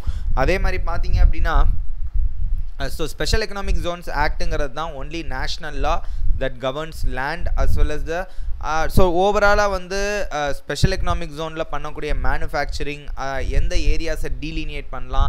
ஸோ அங்கே இருக்கிற ரியல் எஸ்டேட் சட்டங்கள் இது எல்லாத்தையுமே வந்து கவர்ன் பண்ணுறதுக்காக கொண்டு வந்த ஒரே act SEZ act two thousand five மட்டும்தான். அதே மாதிரி வந்து உங்களுக்கு ஸ்பெஷல் எக்கனாமிக் ஜோன்ஸ் ஆக்ட்லேயே என்ன சொல்லியிருக்காங்கன்னா வந்து fully furnished premises twenty four seven power supply கொடுப்போம். பொதுவாக வந்து ஸ்பெஷல் எக்கனாமிக் ஜோனை வந்து அட்ராக்ட் பண்ணும். நிறைய இன்வெஸ்ட்மெண்ட்ஸை அட்ராக்ட் பண்ணணும் அப்படின்னா வந்து ஃபர்ஸ்ட் ஆஃப் ஆல் நாங்கள் வந்து இருபத்தி நாலு மணி நேரம் பவர் சப்ளை தருவோம். கட் பண்ணவே மாட்டோம். பவர் சப்ளை கட் பண்ணவே மாட்டோம். வாட்டர் ஃபெசிலிட்டிஸ் கண்டிப்பாக கொடுத்துக்கிட்டே இருப்போம். சூவே sewage facilities gas facilities fuel facilities telecommunication இது எல்லாமே தடைப்படாமல் உங்களுக்கு கொடுப்போம் அப்படின்ற மாதிரி சொன்னாதான் முதலீடுகள் நிறையா வந்து நம்ம நாட்டுக்குள்ளே வரும். அவங்களும் நம்பி வந்து என்ன பண்ணுவாங்கன்னா தொழில் தொடங்குவாங்க. ஸோ அதுக்காக special economic zone act two thousand ஃபைவ்லேயே வந்து ஒரு சர்வீஸ் செக்டாருக்காக ஆரம்பிக்கக்கூடிய ஒரு ஸ்பெஷல் எக்கனாமிக் ஜோனுங்கிறது இந்த மாதிரியான ஒரு இதோட தான் இருக்கணும். ஃபெசிலிட்டிஸோட இந்த மாதிரியான யூட்டிலிட்டிஸோட இருக்கணும் அப்படிங்கிறது வந்து மேண்டேட் பண்ணியிருக்கு special economic zone act two thousand ஃபைவ்ங்கிறது so இந்த சட்டத்தின் மூலமாகவே இது மேண்டேட் பண்ணப்பட்டதுனால நிறைய பேர் நம்பி இன்வெஸ்ட் பண்ணுறதுக்கும் வருவாங்க அப்படிங்கிறதெல்லாம் பார்க்குறோம் ஸோ ஸ்பெஷல் எக்கனாமிக் ஜோன்ஸ் ஆக்டோடைய சீஃப் அப்ஜெக்டிவ் என்ன அப்படின்னு பார்த்தோம் அப்படின்னா to create additional economic activity இன்னும் அதிகமான பொருளாதார அந்த செயல்களை வந்து இன்னும் அதிகரிக்கிறதுக்காகவும் கூட்ஸ் அண்ட் சர்வீசஸை வந்து ஏற்றுமதி பண்ணுறதுக்காகவும் எம்ப்ளாய்மெண்ட்டை வந்து ஜென்ரேட் பண்ணுறதுக்காகவும் டொமஸ்டிக் அண்டு ஃபாரின் இன்வெஸ்ட்மெண்ட்ஸை அதிகரிக்கிறதுக்காகவும் கட்டுமான ஃபெசிலிட்டிஸ் எல்லாத்தையும் முன்னேற்றத்துக்காகவும் ஆரம்பிக்கப்பட்டது தான் இந்த ஸ்பெஷல் எக்கனாமிக் ஜோன்ஸுங்கிறது ஓகே இப்போ இந்த கிரிட்டிக்கலி அனலைஸ் அப்படின்னு தானே போன வருஷம் கேட்டிருக்காங்க. இந்த கிரிட்டிக்கலி அனலைஸில் வந்து நம்ம என்ன பார்ப்போம் அப்படின்னா அதில் இருக்கிற அட்வான்டேஜஸ் டிஸ்அட்வான்டேஜஸ் பார்த்துட்டு இதில் மேஜராக ஓவராலாக எது அதிகமாக இருக்குது அப்படிங்கிறதையும் நம்ம பார்க்க போகிறோம் okay special economic zone approval mechanism இதை எப்படி அப்ரூவ் பண்ணுறாங்க இது எல்லாமே கொடுத்துருக்கேன். இதெல்லாம் நம்ம கிளாஸில் பார்க்கலாம். மெயின் கிளாஸில் வந்து நம்ம இதை பற்றி பார்க்கலாம். ஃபெசிலிட்டிஸ் அண்ட் இன்சென்டிவ்ஸ்லாம் என்ன அப்படிங்கிறதெல்லாம் கொடுத்துருக்கேன். ஓகே மினிமம் அல்டர்னேட் டேக்ஸ் இந்த இடத்துல வருது. ஒரு நியூஸ் கூட வந்துருந்துச்சு ஜனவரி டூ டுவெண்ட்டி டுவெண்ட்டியில் கவர்மெண்ட் வந்து மினிமம் அல்டர்னேட் டேக்ஸை ஸ்பெஷல் எக்கனாமிக் ஜோன்ஸில் ரிமூவ் பண்ண போகிறாங்க எக்ஸ்போர்ட்ஸை பூஸ்ட் பண்ணுறதுக்காக what is a minimum alternate tax இதை பற்றி நான் டாக்ஸேஷன் கிளாஸில் வந்து பிப்ரவரி எட்டில் எடுக்கிறேன். ஸோ எல்லாருமே முடிந்த அளவுக்கு ப்ளஸில் வந்து ஜாயின் பண்ண ட்ரை பண்ணுங்கள் ப்ளஸில் தான் இது உங்களுக்கு ரொம்ப யூஸ்ஃபுல்லாக இருக்கும். ஸோ ஒரு டாபிக் இருக்குன்னா அந்த டாபிக் சம்மந்தப்பட்ட கரண்ட் அஃபேர்ஸையும் நான் சேர்த்து கவர் பண்ணுறதுனால அது உங்களுக்கு ரொம்ப யூஸ்ஃபுல்லாக இருக்கும். ஓகே ஸ்பெஷல் எக்கனாமிக் ஜோன்ஸ் எத்தனை இருக்குது இந்தியாவில் ஸோ இது எல்லாமே வந்து கரண்ட் அஃபேர்ஸில் வந்தது. பர்டிகுலராக வந்து இந்த கோவிட் நைன்டீனால் வந்து பாதிக்கப்பட்ட ஒரு முக்கியமான இது வந்து என்னென்னா ஸ்பெஷல் எக்கனாமிக் ஜோன்ஸ் தான். ஏன்னா வந்து நிறைய வந்து அதை வந்து வராமல் பண்ணிட்டாங்க so problems with the present SEZ so இப்போ இருக்கிற ஸ்பெஷல் எக்கனாமிக் ஜோன்ஸ் இந்தியாவில் இருக்கிற ஸ்பெஷல் எக்கனாமிக் ஜோன்ஸில் என்னென்ன ப்ராப்ளம் பிரச்சனைகள்லாம் இருக்குது ஏன்னா இப்போ வரைக்கும் நம்ம மெரிட்ஸ் பார்த்தோம். ஸ்பெஷல் எக்கனாமிக் ஜோன்ஸ்னால என்னென்னலாம் கிடைக்கும்? எம்ப்ளாய்மெண்ட் ஜென்ரேஷன் அதே மாதிரி வந்து எக்கனாமிக் ஆக்டிவிட்டி இதெல்லாமே முன்னேறும் அப்படின்லாம் பார்த்தோம். What are all the problems special economic zones வந்து இந்தியாவில் வந்து பர்டிகுலராக சக்ஸஸ்ஃபுல்லாக இல்லை. எல்லாமே சக்ஸஸ்ஃபுல்லாக இல்லை நிறைய மற்ற நாடுகளை கம்பேர் பண்ணும்போது இந்தியாவில் இருக்கிற ஸ்பெஷல் எக்கனாமிக் ஜோன்ஸ் வந்து அந்தளவுக்கு வெற்றிகரமாக நடக்கல. காரணம் என்ன அப்படின்னு பார்த்தோம் அப்படின்னா வந்து நம்ம நாட்டில் வர்றவங்க எல்லாருமே வந்து கேம் அப் நாட் ஃபார் எக்ஸ்போர்ட்டிங்காக வரல. மெயினாக வந்து அவங்க வந்து நம்ம நாட்டுக்கு வந்து ஆரம்பிக்க ஸ்பெஷல் எக்கனாமிக் ஜோன்ஸ் ஆரம்பிக்க வந்தது தொழிற்சாலைகள் அதே மாதிரி வந்து ஏற்றுமதியை வந்து முன்னேற்றத்துக்காக வரல. மெயினாக டேக்ஸை அவாய்ட் பண்ணுறதுக்காக நம்ம நாட்டுக்குள்ளே இருக்கிறவங்களே இப்போ ஃபார் எக்ஸாம்பிள் சென்னையில் வந்து ஒரு ஸ்பெஷல் எக்கனாமிக் ஜோன்னு ஒன்று ஆரம்பிச்சிருக்காங்கன்னு வச்சுக்கோமே. இப்போ சாதாரணமாக மதுரையில் ஒருத்தன் வந்து தொழில் பண்ணணும்னு நினைக்கிறான். மதுரையில் ஒருத்தன் வந்து தொழில் பண்ணணும்னு நினைக்கிறான். அவன் ஆக்சுவலாக வந்து ஸ்பெஷல் எக்கனாமிக் ஜோன் வரலனா மதுரையில் தான் தொழில் ஆரம்பிச்சிருப்பான். அப்படி மதுரையில் தொழில் ஆரம்பித்தவன் வந்து அங்கே வந்து சாதாரணமாக இருக்கக்கூடிய ரூல்ஸ் அண்ட் ரெகுலேஷன்ஸை மதித்து அவன் நடக்கிற மாதிரி தான் இருக்கணும் இருப்பான். ஸோ இதே இது வந்து இப்போ ஸ்பெஷல் எக்கனாமிக் ஜோன் சென்னையில் வந்தோடனே டக்குன்னு அவன் என்ன பண்ணுறான்னா மதுரையில் ஆரம்பிக்க வேண்டிய பிஸ்னஸை வந்து சென்னைக்கு கொண்டு வரான். ஏன் மெயினாக சென்னைக்கு கொண்டு வந்தான் அப்படின்னா அவன் வந்து அந்த டேக்ஸை அவாய்ட் பண்ணணும் அப்படிங்கிறதுக்காக தான் வரான்.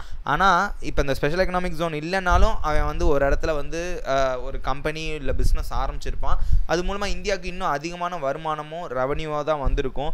ஸோ அதை தான் இங்கே சொல்கிறாங்க நிறைய பேர் வந்து ஸ்பெஷல் எக்கனாமிக் ஜோன்ஸ்க்கு வர்றது வந்து எக்ஸ்போர்ட்டை அதிகரிக்கிறதுக்காக இல்லை. அதாவது புதுசாக தொழில் தொடங்காமல் ஏற்கனவே இருக்கிற தொழிலை வந்து ஸ்பெஷல் எக்கனாமிக் ஜோன்ஸ்க்கு மாற்றுறாங்க பட் அது வந்து நம்ம ஸ்பெஷல் எக்கனாமிக் ஜோன் ஆரம்பித்தது வந்து புதிய முதலீடுகளை ஈர்க்கிறதுக்காக ஆரம்பித்தது தான். ஏற்கனவே நீங்கள் சேலத்துலேயோ இல்லை வந்து வேலூர்லேயோ வந்து ஒரு பிஸ்னஸ் பண்ணிக்கிட்டு இருக்கீங்க. இப்போ ஸ்பெஷல் எக்கனாமிக் ஜோன்ஸ்னு ஒன்று க்ரியேட் பண்ணியிருக்காங்க. அங்கே போய் நம்ம தொழில் வச்சோம்னா நம்மளுக்கு நிறைய இன்சென்டிவ் கிடைக்கும்.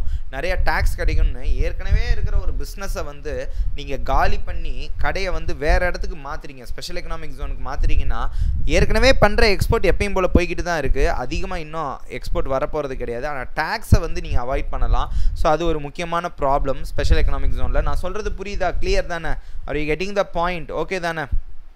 ஓகே அதே மாதிரி problem with present special economic ஜோன்ஸை பொறுத்தளவுக்கு large fiscal sops large fiscal sops அப்படின்னா என்ன அர்த்தம்? கவர்மெண்ட் வந்து எக்கச்சக்கமாக என்ன பண்ணுறாங்க அப்படின்னா வந்து ஷாப்ஸ் அப்படிங்கிறது வந்து என்ன அப்படின்னு பார்த்தோம் அப்படின்னா வந்து நிறைய ஃப்ரீபீஸ் கொடுக்குறது தான் ஷாப்ஸ் அப்படின்னு சொல்லுவாங்க.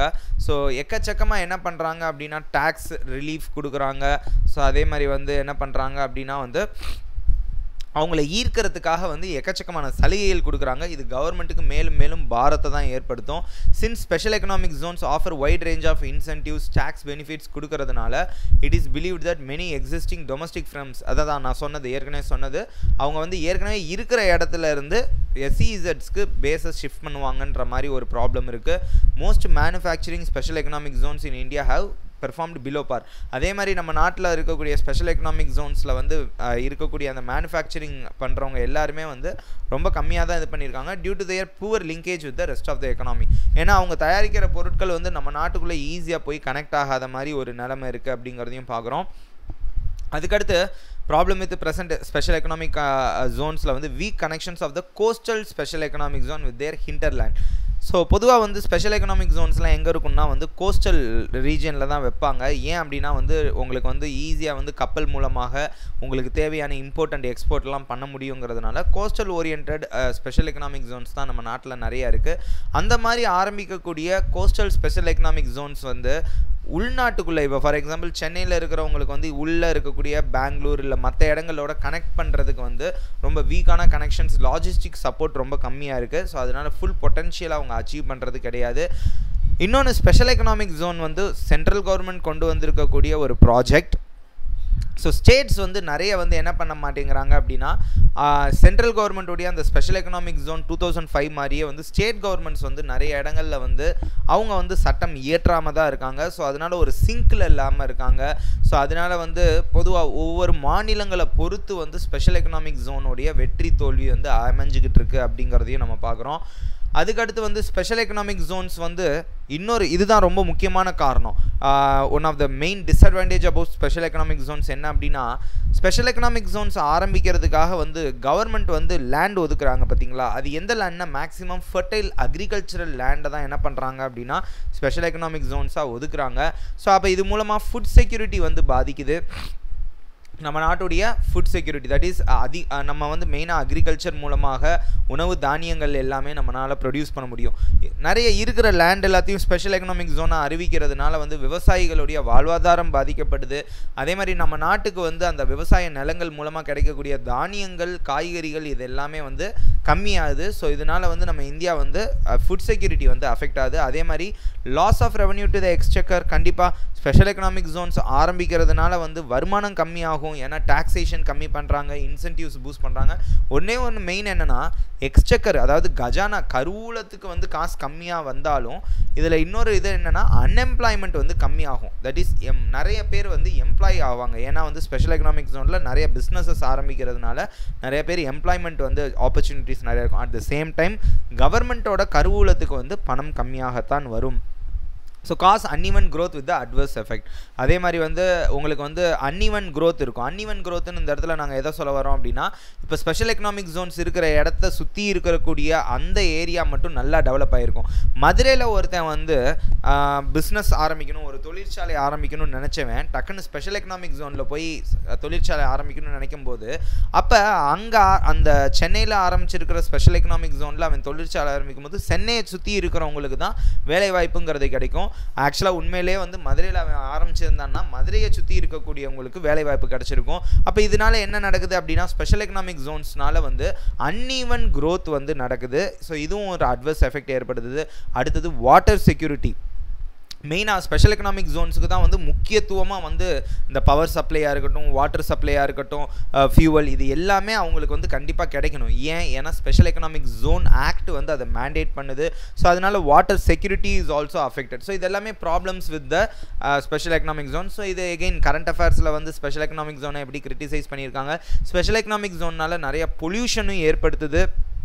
ஏன்னா ஆரம்பிக்கிற ஃபேக்ட்ரிஸ்லாம் வந்து அன்ட்ரீட் பண்ணாமையே இன்ஃப்ளூயன்ஸை கடலில் கலக்குறாங்க. இதனால வந்து ஃபிஷரிஸ் டைரி செக்டார்ஸ்லாம் பாதிக்கப்பட்டிருக்கு. குஜராத்தோட மேங்க்ரூவ் ஏரியாஸ்லாம் நிறைய டெஸ்ட்ரக்ட் ஆகிருக்கு இதை வச்சு நியூஸ்லாம் கூட வந்திருக்கு. ஸோ மார்ச் டூ தௌசண்ட் எயிட்டீனில் loss of mangroves NGT orders national green tribunal வந்து கட்ச் டிஸ்ட்ரிக்டில் இருக்கக்கூடிய அந்த ஸ்பெஷல் எக்கனாமிக் ஜோனை ஆய்வு பண்ணணும்லாம் சொல்லியிருக்காங்க. ஸோ இந்த மாதிரி நிறைய நியூஸ் வந்திருக்கு. எகைன் இதை பற்றி எல்லாமே நான் உங்களுக்கு வந்து கிளாஸஸில் கவர் பண்ணுவேன். ஸ்பெஷல் எக்கனாமிக் ஜோன்ஸில் வந்து நிறைய சாலிட் பிளாஸ்டிக் வேஸ்டெல்லாம் வந்து என்ன பண்ணுறாங்க அப்படின்னா இம்போர்ட் பண்ணுறாங்க நம்ம நாட்டை வந்து ஒரு குப்பை கூடமாக மாற்றுறதுக்கு வந்து என்ன பண்ணுறாங்கன்னா வெளிநாட்டில் இருக்கக்கூடிய ஸ்பெஷல் எக்கனாமிக் ஜோனில் வந்து வெளிநாட்டில் இருந்து இருக்கக்கூடிய அந்த பிளாஸ்டிக் பொருட்கள் எல்லாத்தையும் ஸ்பெஷல் எக்கனாமிக் ஜோனில் கொண்டு வந்து ப்ராசஸ் பண்ணுறாங்க ஸோ இது வந்து நம்ம நாட்டில் வந்து பொல்யூஷனை ஏற்படுத்துது. இந்த மாதிரிலாம் நிறைய நியூஸ் வந்திருக்கு. எகெயின் இந்த ஒரு கிளாஸ் வந்து ஸ்பெஷல் கிளாஸுங்கிறதுனால நம்மளால் எல்லாத்தையுமே கவர் பண்ண முடியாது. இதை பற்றி நான் உங்களுக்கு ஃபர்தராக பிப்ரவரி எட்டில் நான் கவர் பண்ணுறேன் ஸோ அதுக்கு முன்னாடி இந்த கிளாஸை என் பண்ணுறதுக்கு முன்னாடி வரக்கூடிய நாட்களில் நம்ம என்னென்ன டாப்பிக்லாம் மெயினாக பார்க்க போகிறோம் அப்படிங்கிறதையும் எடுத்துடுறேன் ஓகே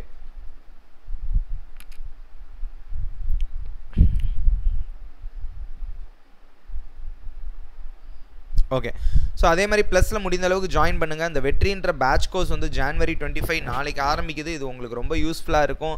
ஸோ வெற்றி பேட்ச் கோர்ஸில் ஜாயின் பண்ணணும்னு நினைக்கிறவங்க use my referral code Mahadevan to get ten percentage discount so உங்களுடைய அன் அகாடமி ப்ளஸ் ஆப்பில் வந்து கெட் சப்ஸ்கிரிப்ஷனுக்குள்ளே போனீங்கன்னா உங்களுக்கு தேவையான பிளான்ஸ் இருக்கும். அதில் ஒரு பிளானை சூஸ் பண்ணிவிட்டு ரெஃபரல் கோட் இருக்கிற இடத்துல என்னுடைய பேர் மகாதேவன் அப்படிங்கிறத டைப் பண்ணிங்கன்னா உங்களுக்கு பத்து சதவீதம் டிஸ்கவுண்ட் கிடைக்கும். So try to come to Unacademy TNPSC plus using my referral code Mahadevan அதே மாதிரி பிப்ரவரி எட்டாம் தேதி சாயந்தரம் நாலு மணிலேருந்து அஞ்சரை மணிக்கு தான் நம்மளுடைய Indian economy plus crash crash course mains crash course ஆரம்பிக்குது.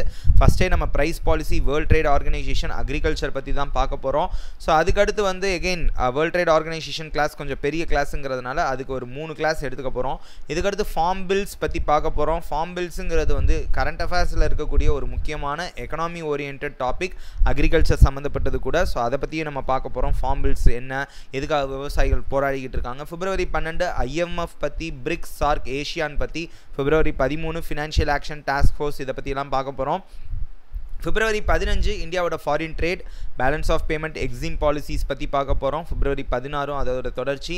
அதுக்கடுத்து பேங்கிங் அண்ட் ஃபினான்ஸ் பற்றி பிப்ரவரி பதினேழு பார்க்க போகிறோம் மானிட்ரி பாலிசி ஆர்பிஐ அட்டானமி பற்றி பிப்ரவரி பதினெட்டு பார்க்க போகிறோம் பிப்ரவரி பத்தொம்போது எகைன் மானிட்ரி பாலிசி பற்றி பார்க்க போகிறோம் பிப்ரவரி இருபது ரொம்ப ரொம்ப முக்கியமான ஸ்டாக் மார்க்கெட் பற்றி பார்க்க போகிறோம் stock market part one so அதில் ஸ்டாக் மார்க்கெட் பார்ட் டூ இதெல்லாம் பார்த்துட்டு பிப்ரவரி டுவெண்ட்டி த்ரீ பப்ளிக் ஃபினான்ஸ் பற்றி பார்க்க போகிறோம் பப்ளிக் ஃபினான்ஸில் தான் உங்களுக்கு ஃபிஸ்கல் பாலிசிலாம் வரும். So finance commission fiscal policy பிப்ரவரி twenty five fiscal responsibility budget management act வந்து இப்போ அடிக்கடி நியூஸில் வந்துகிட்டு இருக்கு. அநேகமாக இந்த தடவை மெயின்ஸில் அது கேட்கறதுக்கு வாய்ப்புகள் அதிகம். பிப்ரவரி டுவெண்ட்டி சிக்ஸ் அதை பார்க்க போகிறோம் பிப்ரவரி twenty seven national income GDP GNP NDP பற்றி பார்க்க போகிறோம் இன்ஃப்ளேஷன் அண்ட் இன்ஃப்ளேஷன் டார்கெட்டிங் பற்றி March one demographic profile of India March two issues in Indian economy வந்து March three issues in Indian economy part two அடுத்து special economic ஜோன்ஸை March five பார்க்க போகிறோம் அந்த கிளாஸில் நான் உங்களுக்கு ஒன்றரை மணி நேரம் இருக்கிறதுனால முழுக்க முழுக்க அதை பற்றி நம்ம முழுசாக கவர் பண்ணிடலாம். அதுக்கடுத்து March six micro small medium enterprises MSME sector make in India பற்றி March eight March nine infrastructure பற்றியும் March ten new economic policy அதே மாதிரி டவுட் கிளியரிங் செஷன் இதெல்லாமே நம்ம நான் எப்பயும் வைக்கிறது. தான் மார்ச் லெவன் இண்டஸ்ட்ரி பற்றி பார்க்க போகிறோம் industrial growth industrial policy March twelve planning commission national development council March thirteen NITI யோகோட நம்ம கிளாஸ் வந்து முடியுது. ஸோ இதுக்கடுத்து மார்ச் ஃபோர்டீன்லேருந்து உங்கள் எல்லாருக்குமே தெரியும் அந்த வீக்கெண்ட் பேட்ச் கோர்ஸில் நான் சோஷியல் இஷ்யூஸ் கவர் பண்ண போகிறேன் I hope the class was useful so எல்லாருமே என்னோட கிளாஸஸ் பிடிச்சிருந்துச்சுன்னா ஃபாலோ பண்ணுங்கள் constructive criticisms positive feedbacks dedication ஷேர்ஸ்லாம் share பண்ணுங்கள் ஸோ அன் அகாடமி ஆப்பில் நன்றி வணக்கம். Thank you so much have a nice day guys good night sweet dreams bye bye bye bye bye bye